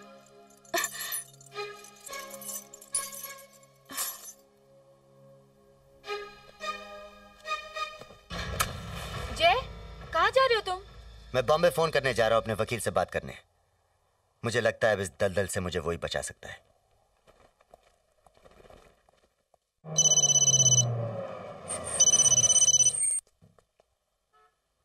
चिनॉय हियर हेलो वकील साहब। मैं धनंजय बोल रहा हूँ। धनंजय तुम कहाँ हो? आई यू ऑलराइट तुम ठीक तो हो ना? मुझे कुछ समझ में नहीं आ रहा वकील साहब। मैं बहुत बुरी तरह फंस चुका हूँ। आई नो मैं जानता हूँ तुम्हारे भाई ने तुम्हें फंसाया है। गॉड नोज़ और तुम्हें कितना फंसाएगा। मैं अब उससे आज़ाद हो चुका हूँ।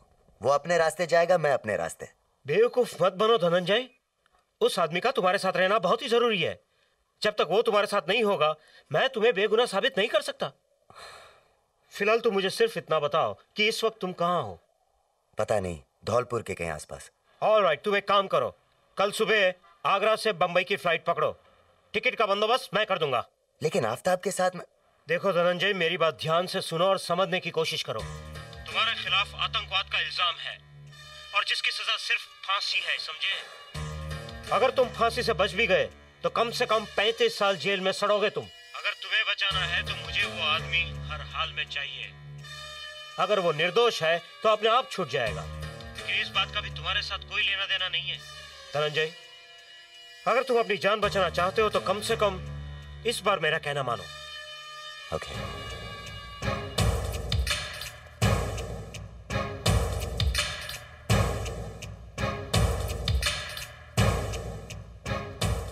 क्या बात है जय? कुछ नहीं। कहाँ जा रहे हो तुम? रात होने वाली है। मैं अंधेरे की आड़ में घर पहुँचा पागल हो गए हो क्या? पुलिस तुम्हारा वहाँ इंतज़ार कर रही होगी। मैं कुछ नहीं जानता। मुझे अपनी अम्मी के पास पहुँचना है। और उसके बाद? अपनी अम्मी को लेकर कहीं चला जाऊँगा। आफ्ताब एक बार। सिर्फ़ एक बार ठंडे दिमाग से सोचो। ये केस कितना बड़ा है तुम्हें कोई अंदाज़ा नहीं है। मेरी अभी अपनी वकील से बात हुई है। और वो लोग आतंकवादी का ठप्पा लगा के तुम्हें और तुम्हारी माँ को अंदर कर देंगे। कम से कम अपने माँ को तो बचाने की सोचो। बचा लूँगा। मान जाओ आफ्ताब। बम्बई जैसे शहर में भी कई बेगुनाह लोग जेल में घुट रहे हैं। और इस वीराने में पुलिस तुम लोगों के साथ क्या करेगी ये किसी को पता भी नहीं चलेगा। अपने बारे में नहीं तो कम से कम अपनी माँ के बारे में तो सोचो। क्या तुम चाहते हो कि तुम्हारी माँ भी गिरफ़्तार हो जाए?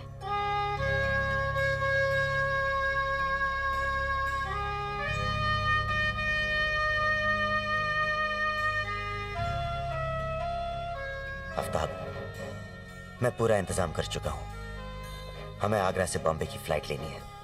वहाँ मेरा वकील चुनाव सब ठीक कर देगा।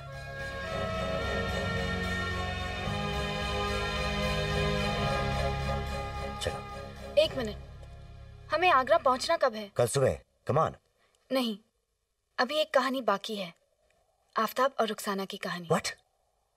आफ्ताब ने मुझे सब कुछ बता दिया है। इसी शहर में रहती है ना?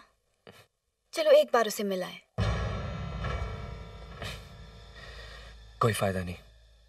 अपनों का साथ बड़ी मुश्किल से मिलता है। इसे इतनी आसानी से मत छोड़ना।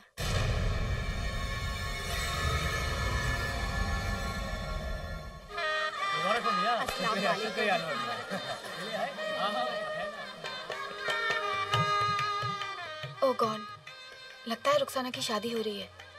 अब क्या करें? मैं अंदर से रुखसाना को ढूंढ कर लाता हूँ। तब तक तुम लोग यहाँ इंतज़ार करो।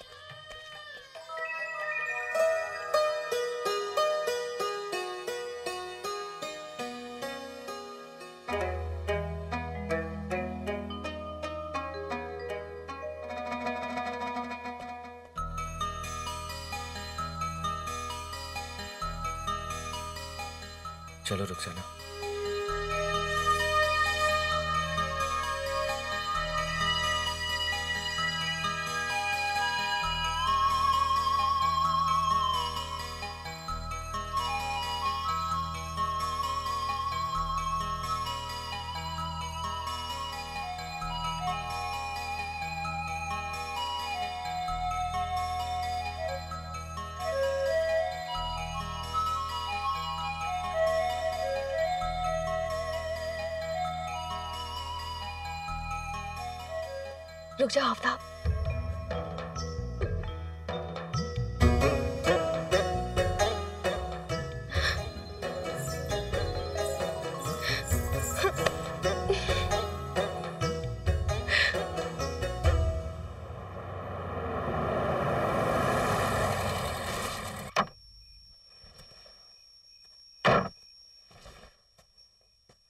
ग्रेट अब यहाँ तो रास्ता ही खत्म हो गया। हमारी फ़्लाइट छूट जाएगी अब। नहीं छूटेगा बाबा। कोई ना कोई रास्ता ज़रूर होगा। चलो मेरे साथ। अरे हमें चलो। कुछ करना पड़ेगा व्हाट डू मीन कोई ना कोई रास्ता। हेलो क्या बात है? डर लग रहा है। हम इस तरह भाग आए हैं। क्या लोगों को ये रिश्ता कबूल होगा?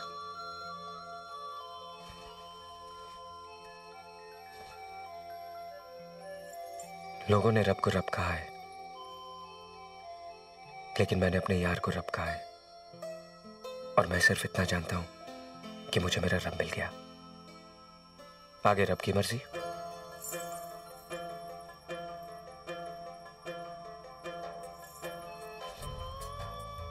और अगर मैं अपने रब को जानता हूँ तो उससे ये रिश्ता कबूल होगा।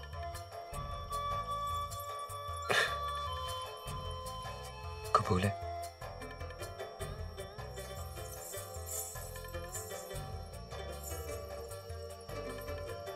कबूल है?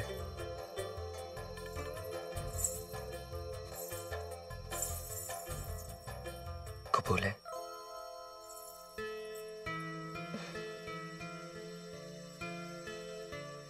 कबूल है।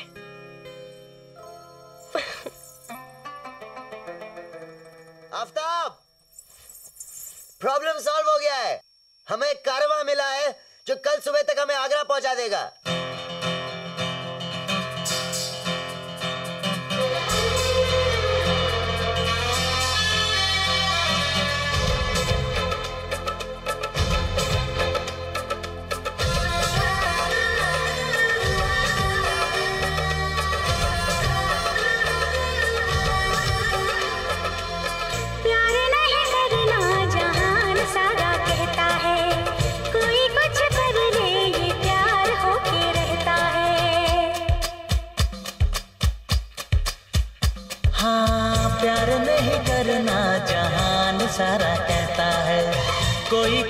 कर ले ये प्यार होके रहता है।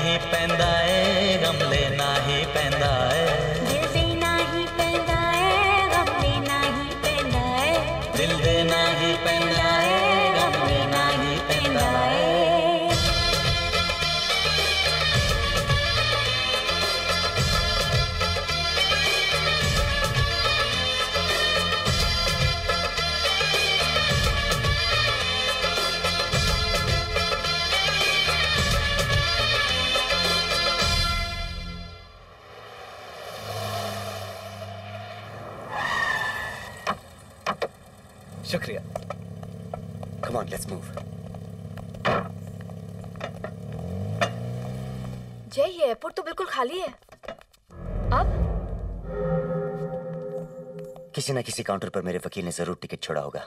आफ्ताब तुम वहाँ देखो मैं यहाँ देखता हूँ।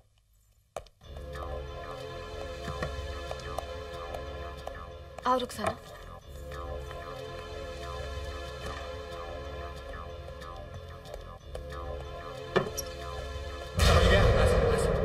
फिर देखते हैं। गुड मॉर्निंग सर मैं धनंजय पंडित के बारे में आपसे कुछ बात करना चाहता हूँ। आप कौन है? जी मेरा नाम चिनॉय है मैं उनका वकील हूँ।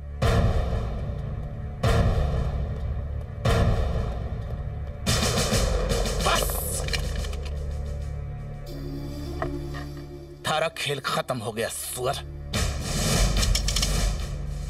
रुको रुको बैकुन रुको, समझदारी से काम लो। पिस्तौल नीचे करो। अरेस्ट हिम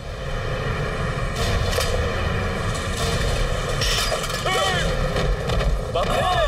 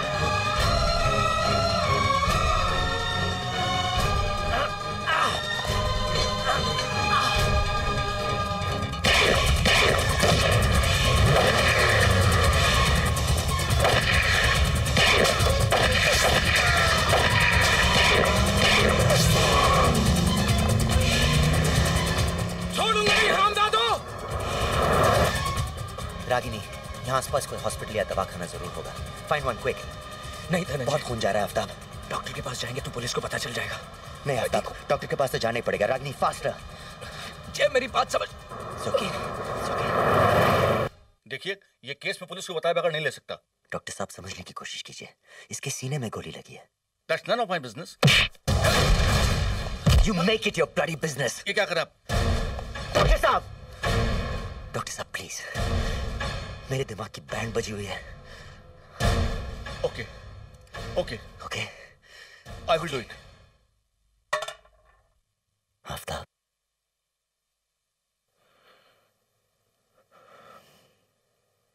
क्या ज़रूरत थी ये सब करने की? तो क्या तुम्हें यूँ ही छोड़ देता? और तुम? तुम्हें क्या ज़रूरत थी एयरपोर्ट पर पलट कर वापस आने की? मेरी जान बचाने की। तो क्या करता? तुम्हें यूँ ही छोड़ देता? चल अब तू जल्दी ठीक हो जा।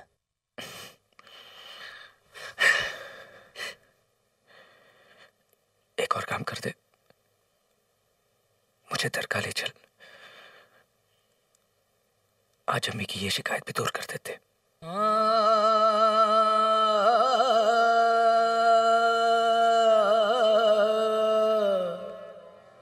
नवाजता है जो सबको, वो दिल नवाज़ है तू।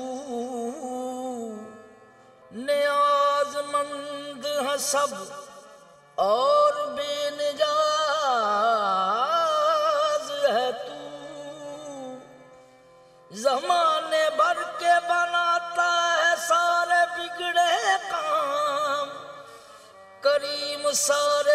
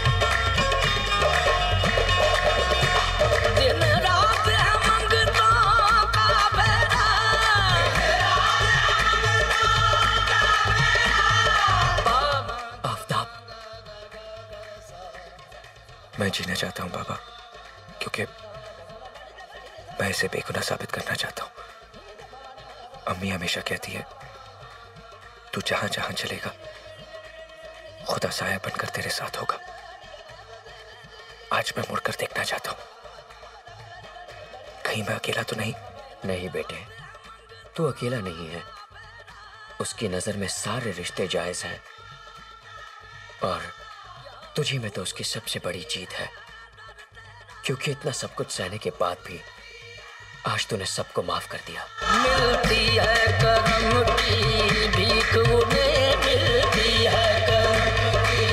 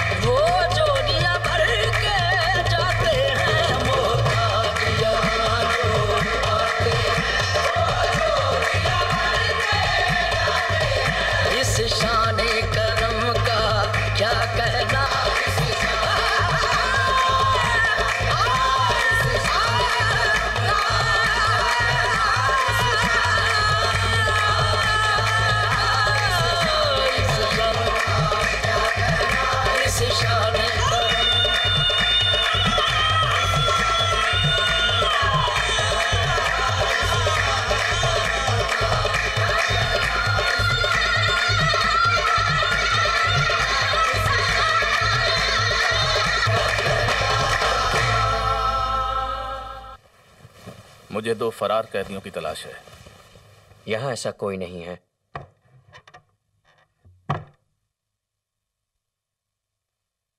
मैंने कहा ना यहां कोई नहीं जाने दीजिए सर यहां से चलिए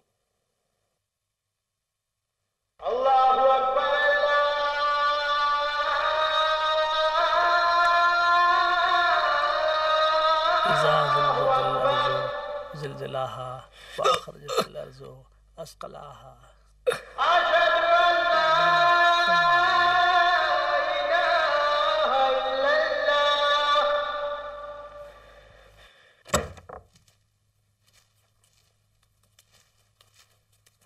कमरा गिनी चिनॉय तुम यहाँ क्या कर रहे हो? डोंट वरी रिलैक्स एक सेकंड एक सेकंड इट्स ओके आफ्ताब ये मेरा आदमी है. इट्स ऑल राइट तुम यहाँ कैसे आए? मैंने इनको सब समझा दिया है। क्या क्या रहा है यार तू? वही जो हमने फ़ोन पे तय किया था। क्या तय किया था? अरे वही जो फ़ोन पे कहा था। फ़ोन पर कहा था? अरे तुम्हारा दिमाग खराब हो गया तुम यहाँ कैसे आए? एक मिनट एक सेकंड एक सेकंड रिलैक्स रिलैक्स सर वादे के मुताबिक मेरा क्लाइंट इस आतंकवादी को आपके सामने ले आया है। Shut up, Chinoy. Chinoy, listen to request है कि मेरे क्लाइंट को जाने दें. ठहरो ठहरो जरा मुझे इनकी बात सुनने दो। सर इनकी बात मत सुनिए। Chinoy shut up don't act like a child Dhananjay बचपना मत करो। आफ्ताब, ये एक बहुत बड़ी गलतफहमी है। कोई गलत फहमी नहीं है।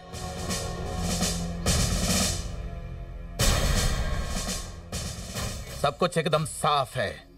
अब कोई चालाकी मत करना, लौंडे। ये क्या कह रहे हो, बैकुंठ? ये मेरा केस है। तारा केस था, अब ये हमारा केस है। अब तू सस्पेंड हो चुका है। क्या बकते हो? बगता दिखा साले को।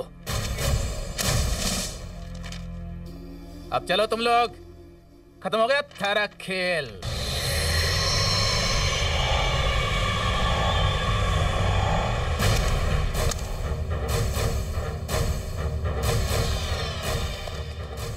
साले को गाड़ी में। आफ्ताब आफ्ताब मेरी बात कोशिश छोड़िए मुझे मुझे से बात करनी है।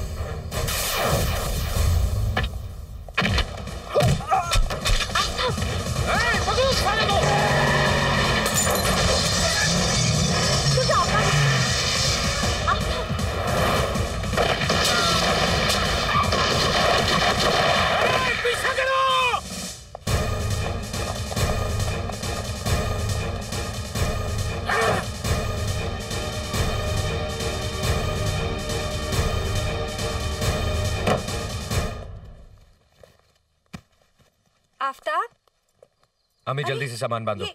हमें फ़ौरन यहाँ से निकलना है। धनंजय कहाँ है? भूल जाओ उसे। वो गिरफ़्तार हो चुका है। लेकिन बेटा वो हमारी वजह से तो फंसा है। और तुम्हें तो उसे छुड़ाना है। अम्मी मैं कुछ सुनना नहीं चाहता। मैं कबूल करता हूँ कि आफताब निर्दोष है। और ऊपर लिखे गुनाहों में मेरा और सिर्फ़ मेरा हाथ है। साला। कुछ काम नहीं आएगी।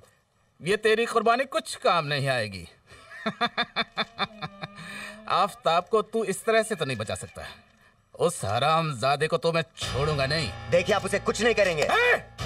मुझे अफसर नहीं दिखाता। हट! भक्ता! डाले साले को अंदर और कड़ी नज़र रखना। मैं जरा आफताब की खबर लेके आता हूँ। आफ्ताब? कहाँ जा रहे हो?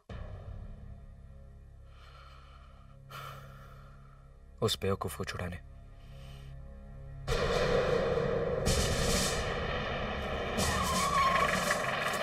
क्या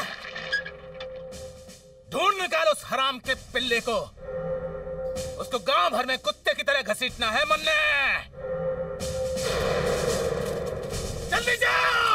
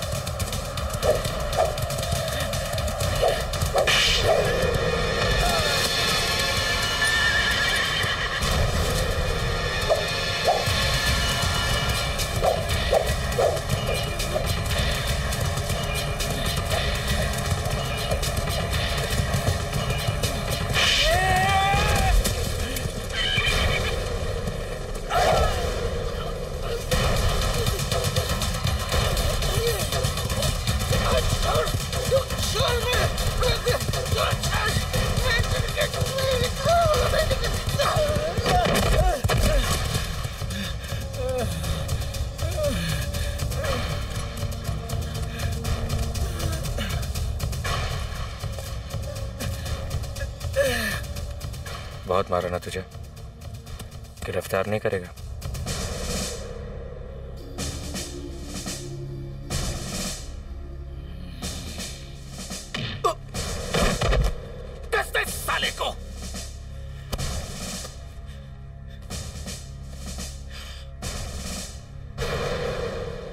हराम खोर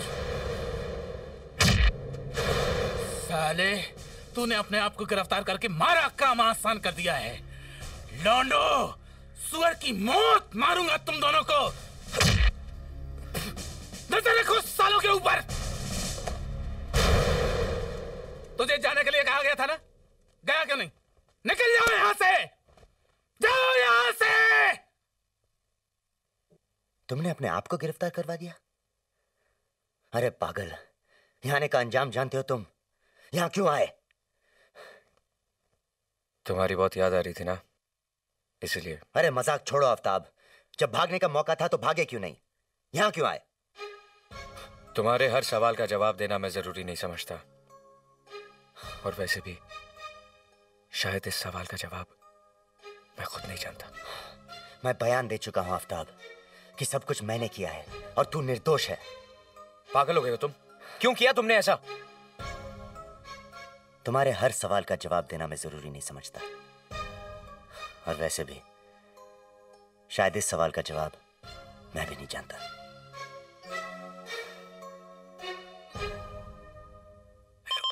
हेलो खरगोश जवाब दो कहाँ हो? मैं नूरा बोल रहा हूँ।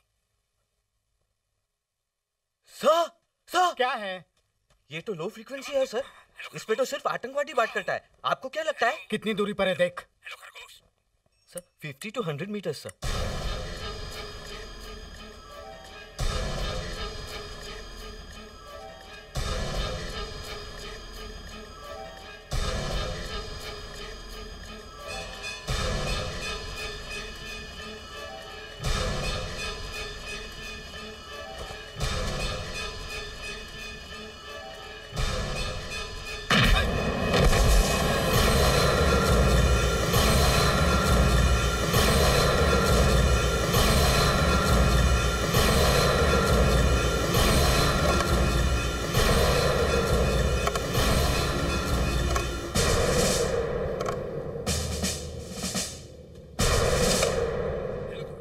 माल भेज रहा हूँ, घबराओ मत।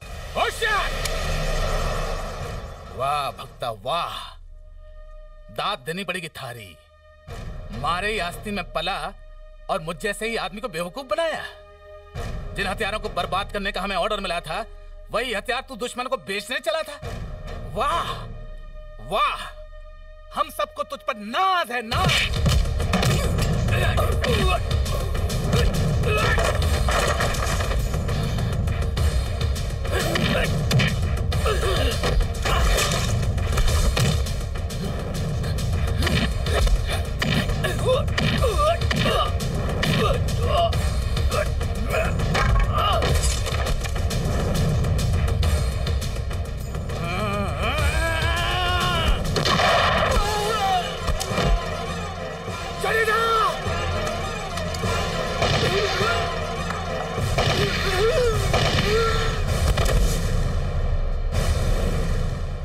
ये सब क्या हो रहा है भक्ता सर मैं आपका पीछा करते करते यहाँ तक आया। मैंने देखा कमांडेंट साहब ने आपको बेहोश कर दिया है। वो आपको मार देना चाहते थे। मैंने रोकने की कोशिश की कि मुझे भी मार देना चाहते थे। ठीक वक्त पे आपको होश आ गया सर। वरना आज हम दोनों मारे जाते। लेकिन तूने तो इसकी जान ही ले ली। और कोई चारा नहीं था सर। मैंने रेडियो पे सारी बातें सुन ली थी। हमें इसी आदमी की तलाश थी सर। इसका मतलब बैकुंठ के बारे में मेरा शक सही था। भक्ता जवाब दो। बैकुंठ की आवाज़ में जवाब दो। हाँ मैं खरगोश बोल रहा हूँ। तुम्हारी आवाज़ को क्या हुआ? कुछ नहीं हुआ है मेरी आवाज़ को तुम बोलो। माल आ रहा है कि नहीं? हाँ आ रहा है। इस बार दो ट्रक चाहिए एक पिछली बार के लिए और एक आज के लिए। ठीक है। कुलधारा गाँव छह बजे और उम्मीद है उन दोनों लड़कों को तुमने जाल में फंसा लिया होगा। खुदा हाफिज। अब क्या होगा सर? अब क्या होगा? यही तो मौका है उन खरीदारों को पकड़ने का। तुम दो ट्रक में हथियार की जगह पत्थर भर दो और अपने बीस भरोसेमंद आदमियों को साथ ले लो। सर आप ट्रक का इंतज़ाम कीजिए। मैं अपने आदमियों को इकट्ठा करता हूँ। राइट।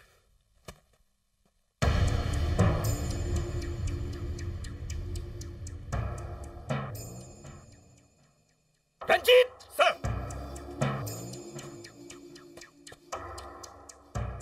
दो ट्रक हथियार भरो और कुलथरा गाँव दूसरे रास्ते से पहुंचो। बैकुंठ तो मारा गया। मगर हमारा क्या होगा सर? तुम दोनों को थोड़ी देर यही रुकना होगा। मैं बॉर्डर से लौटकर तुम दोनों की कार्रवाई पूरी कर दूँगा। बट वाई नॉट नाउ क्योंकि बट्टा तैयारी हो गई। हाँ। गुड दो यहाँ रहेंगे। बाकी हमारे साथ चलेंगे। लेकिन सर आपको आपका आदमी मिल गया। हमें जाने दीजिए ना। मुझे आकर तुम दोनों का बयान भी तो बदलना है। बहराम तुम रेडियो के पास बैठो। चलो बक्ता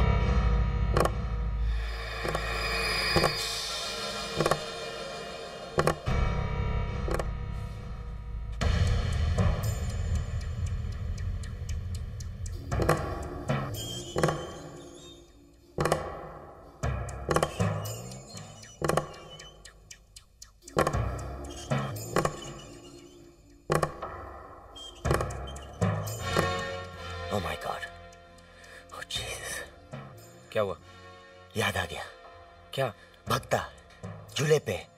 उसी ने मुझे बम दिया था। तुम्हें पूरा यकीन है हाँ बिल्कुल। इसका मतलब हमारे साथ जो कुछ भी हुआ उसी की वजह से हुआ है। अब वो जडेजा को बॉर्डर पे खत्म कर देगा। और वापस आकर हमें अब क्या करें?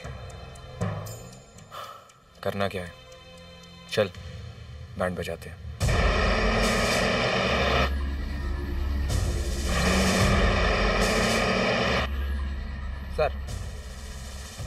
आप कहें तो मैं जवानों को कुलधरा गाँव को पीछे से घेरने को कहूँ। भत्ता देखो इस इलाके को मुझसे अच्छी तरह तुम जानते हो। जो भी करना है जल्दी करो लेकिन किसी भी हालत में टेररिस्ट अपने हाथ से छुटने न पाए। सर बॉर्डर के इलाके का आखिरी गाँव कुलधारा को पीछे से घेरो और जब तक मैं कोई आदेश न कोई कार्रवाई मत करना। ओके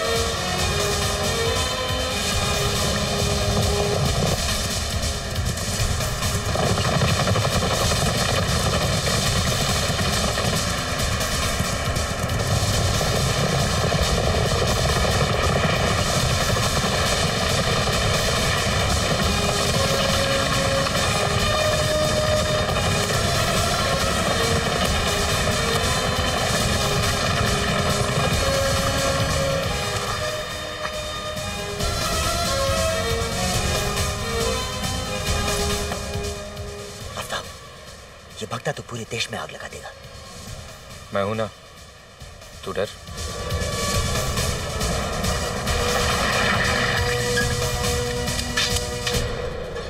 सर ये कुलधारा है। बॉर्डर का आखिरी गाँव।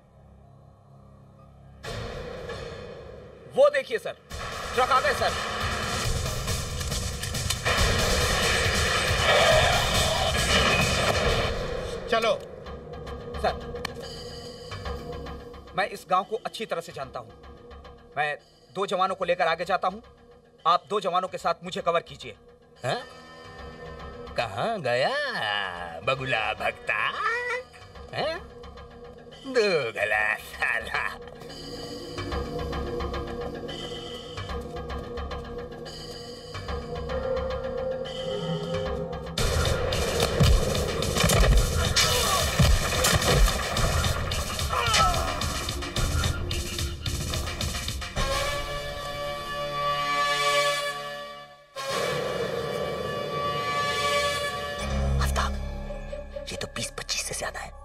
चल इनको गिनती सिखाते हैं। नूरा! नूरा को मारेगा है? पागल हो गया है? पीछे से भी ये ऑफिसर है। मैं नाटक कर रहा हूँ। अपने आदमियों को भेजो और उसे पकड़वा कर यहाँ मंगवाओ।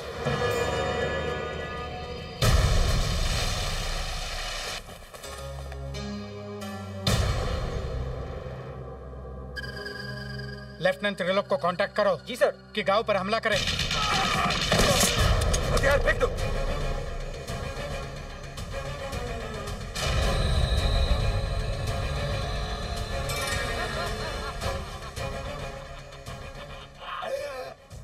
अभी तक नहीं समझा जड़ेजा सोराब जी गोदाम वाले टीका वाले हवलदार जेठामल ट्रेन वाले और बैकुंठ को मैंने ही मारा था।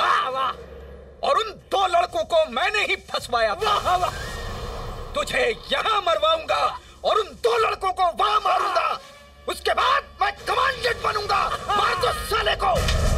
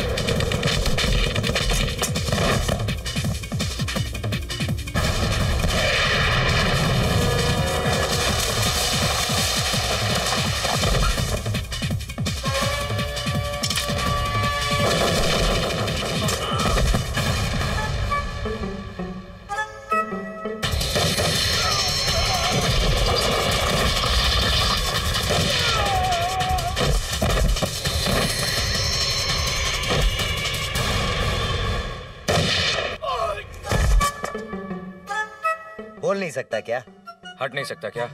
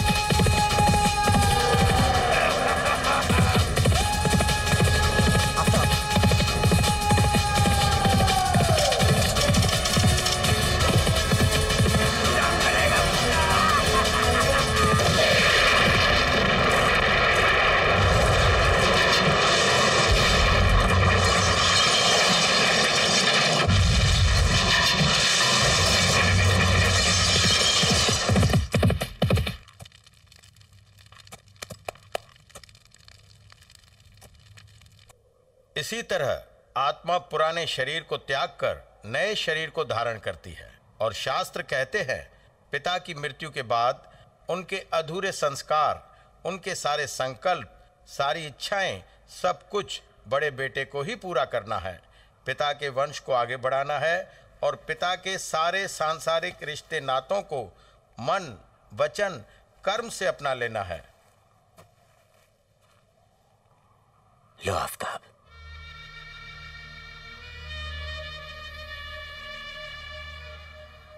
अपने हक को अपना लो।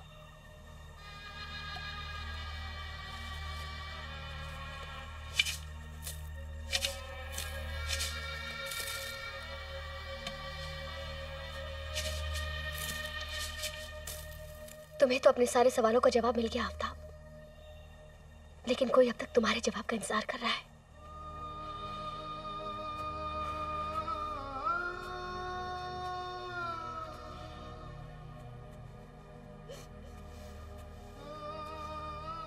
जवाब चाहती थी ना अम्मी। तो सुन, तेरा फैसला पाक था। तूने तो सिर्फ़ प्यार किया। तो काम सबको वक्त ने दिया। मैं अल्लाह मियाँ से दुआ माँगता हूँ कि वो हर औरत को तेरे बराबर की हिम्मत दे और हर बेटे की तकदीर वो जैसी अच्छी लिखे। जिसे तो जैसी अम्मी मिली।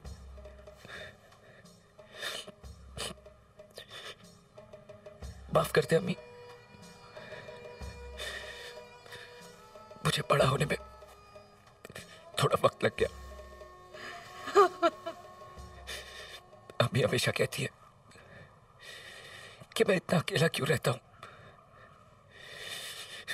कि मैं रोता क्यों नहीं? किसी से सहारा क्यों नहीं माँगता? आज भागता हूँ।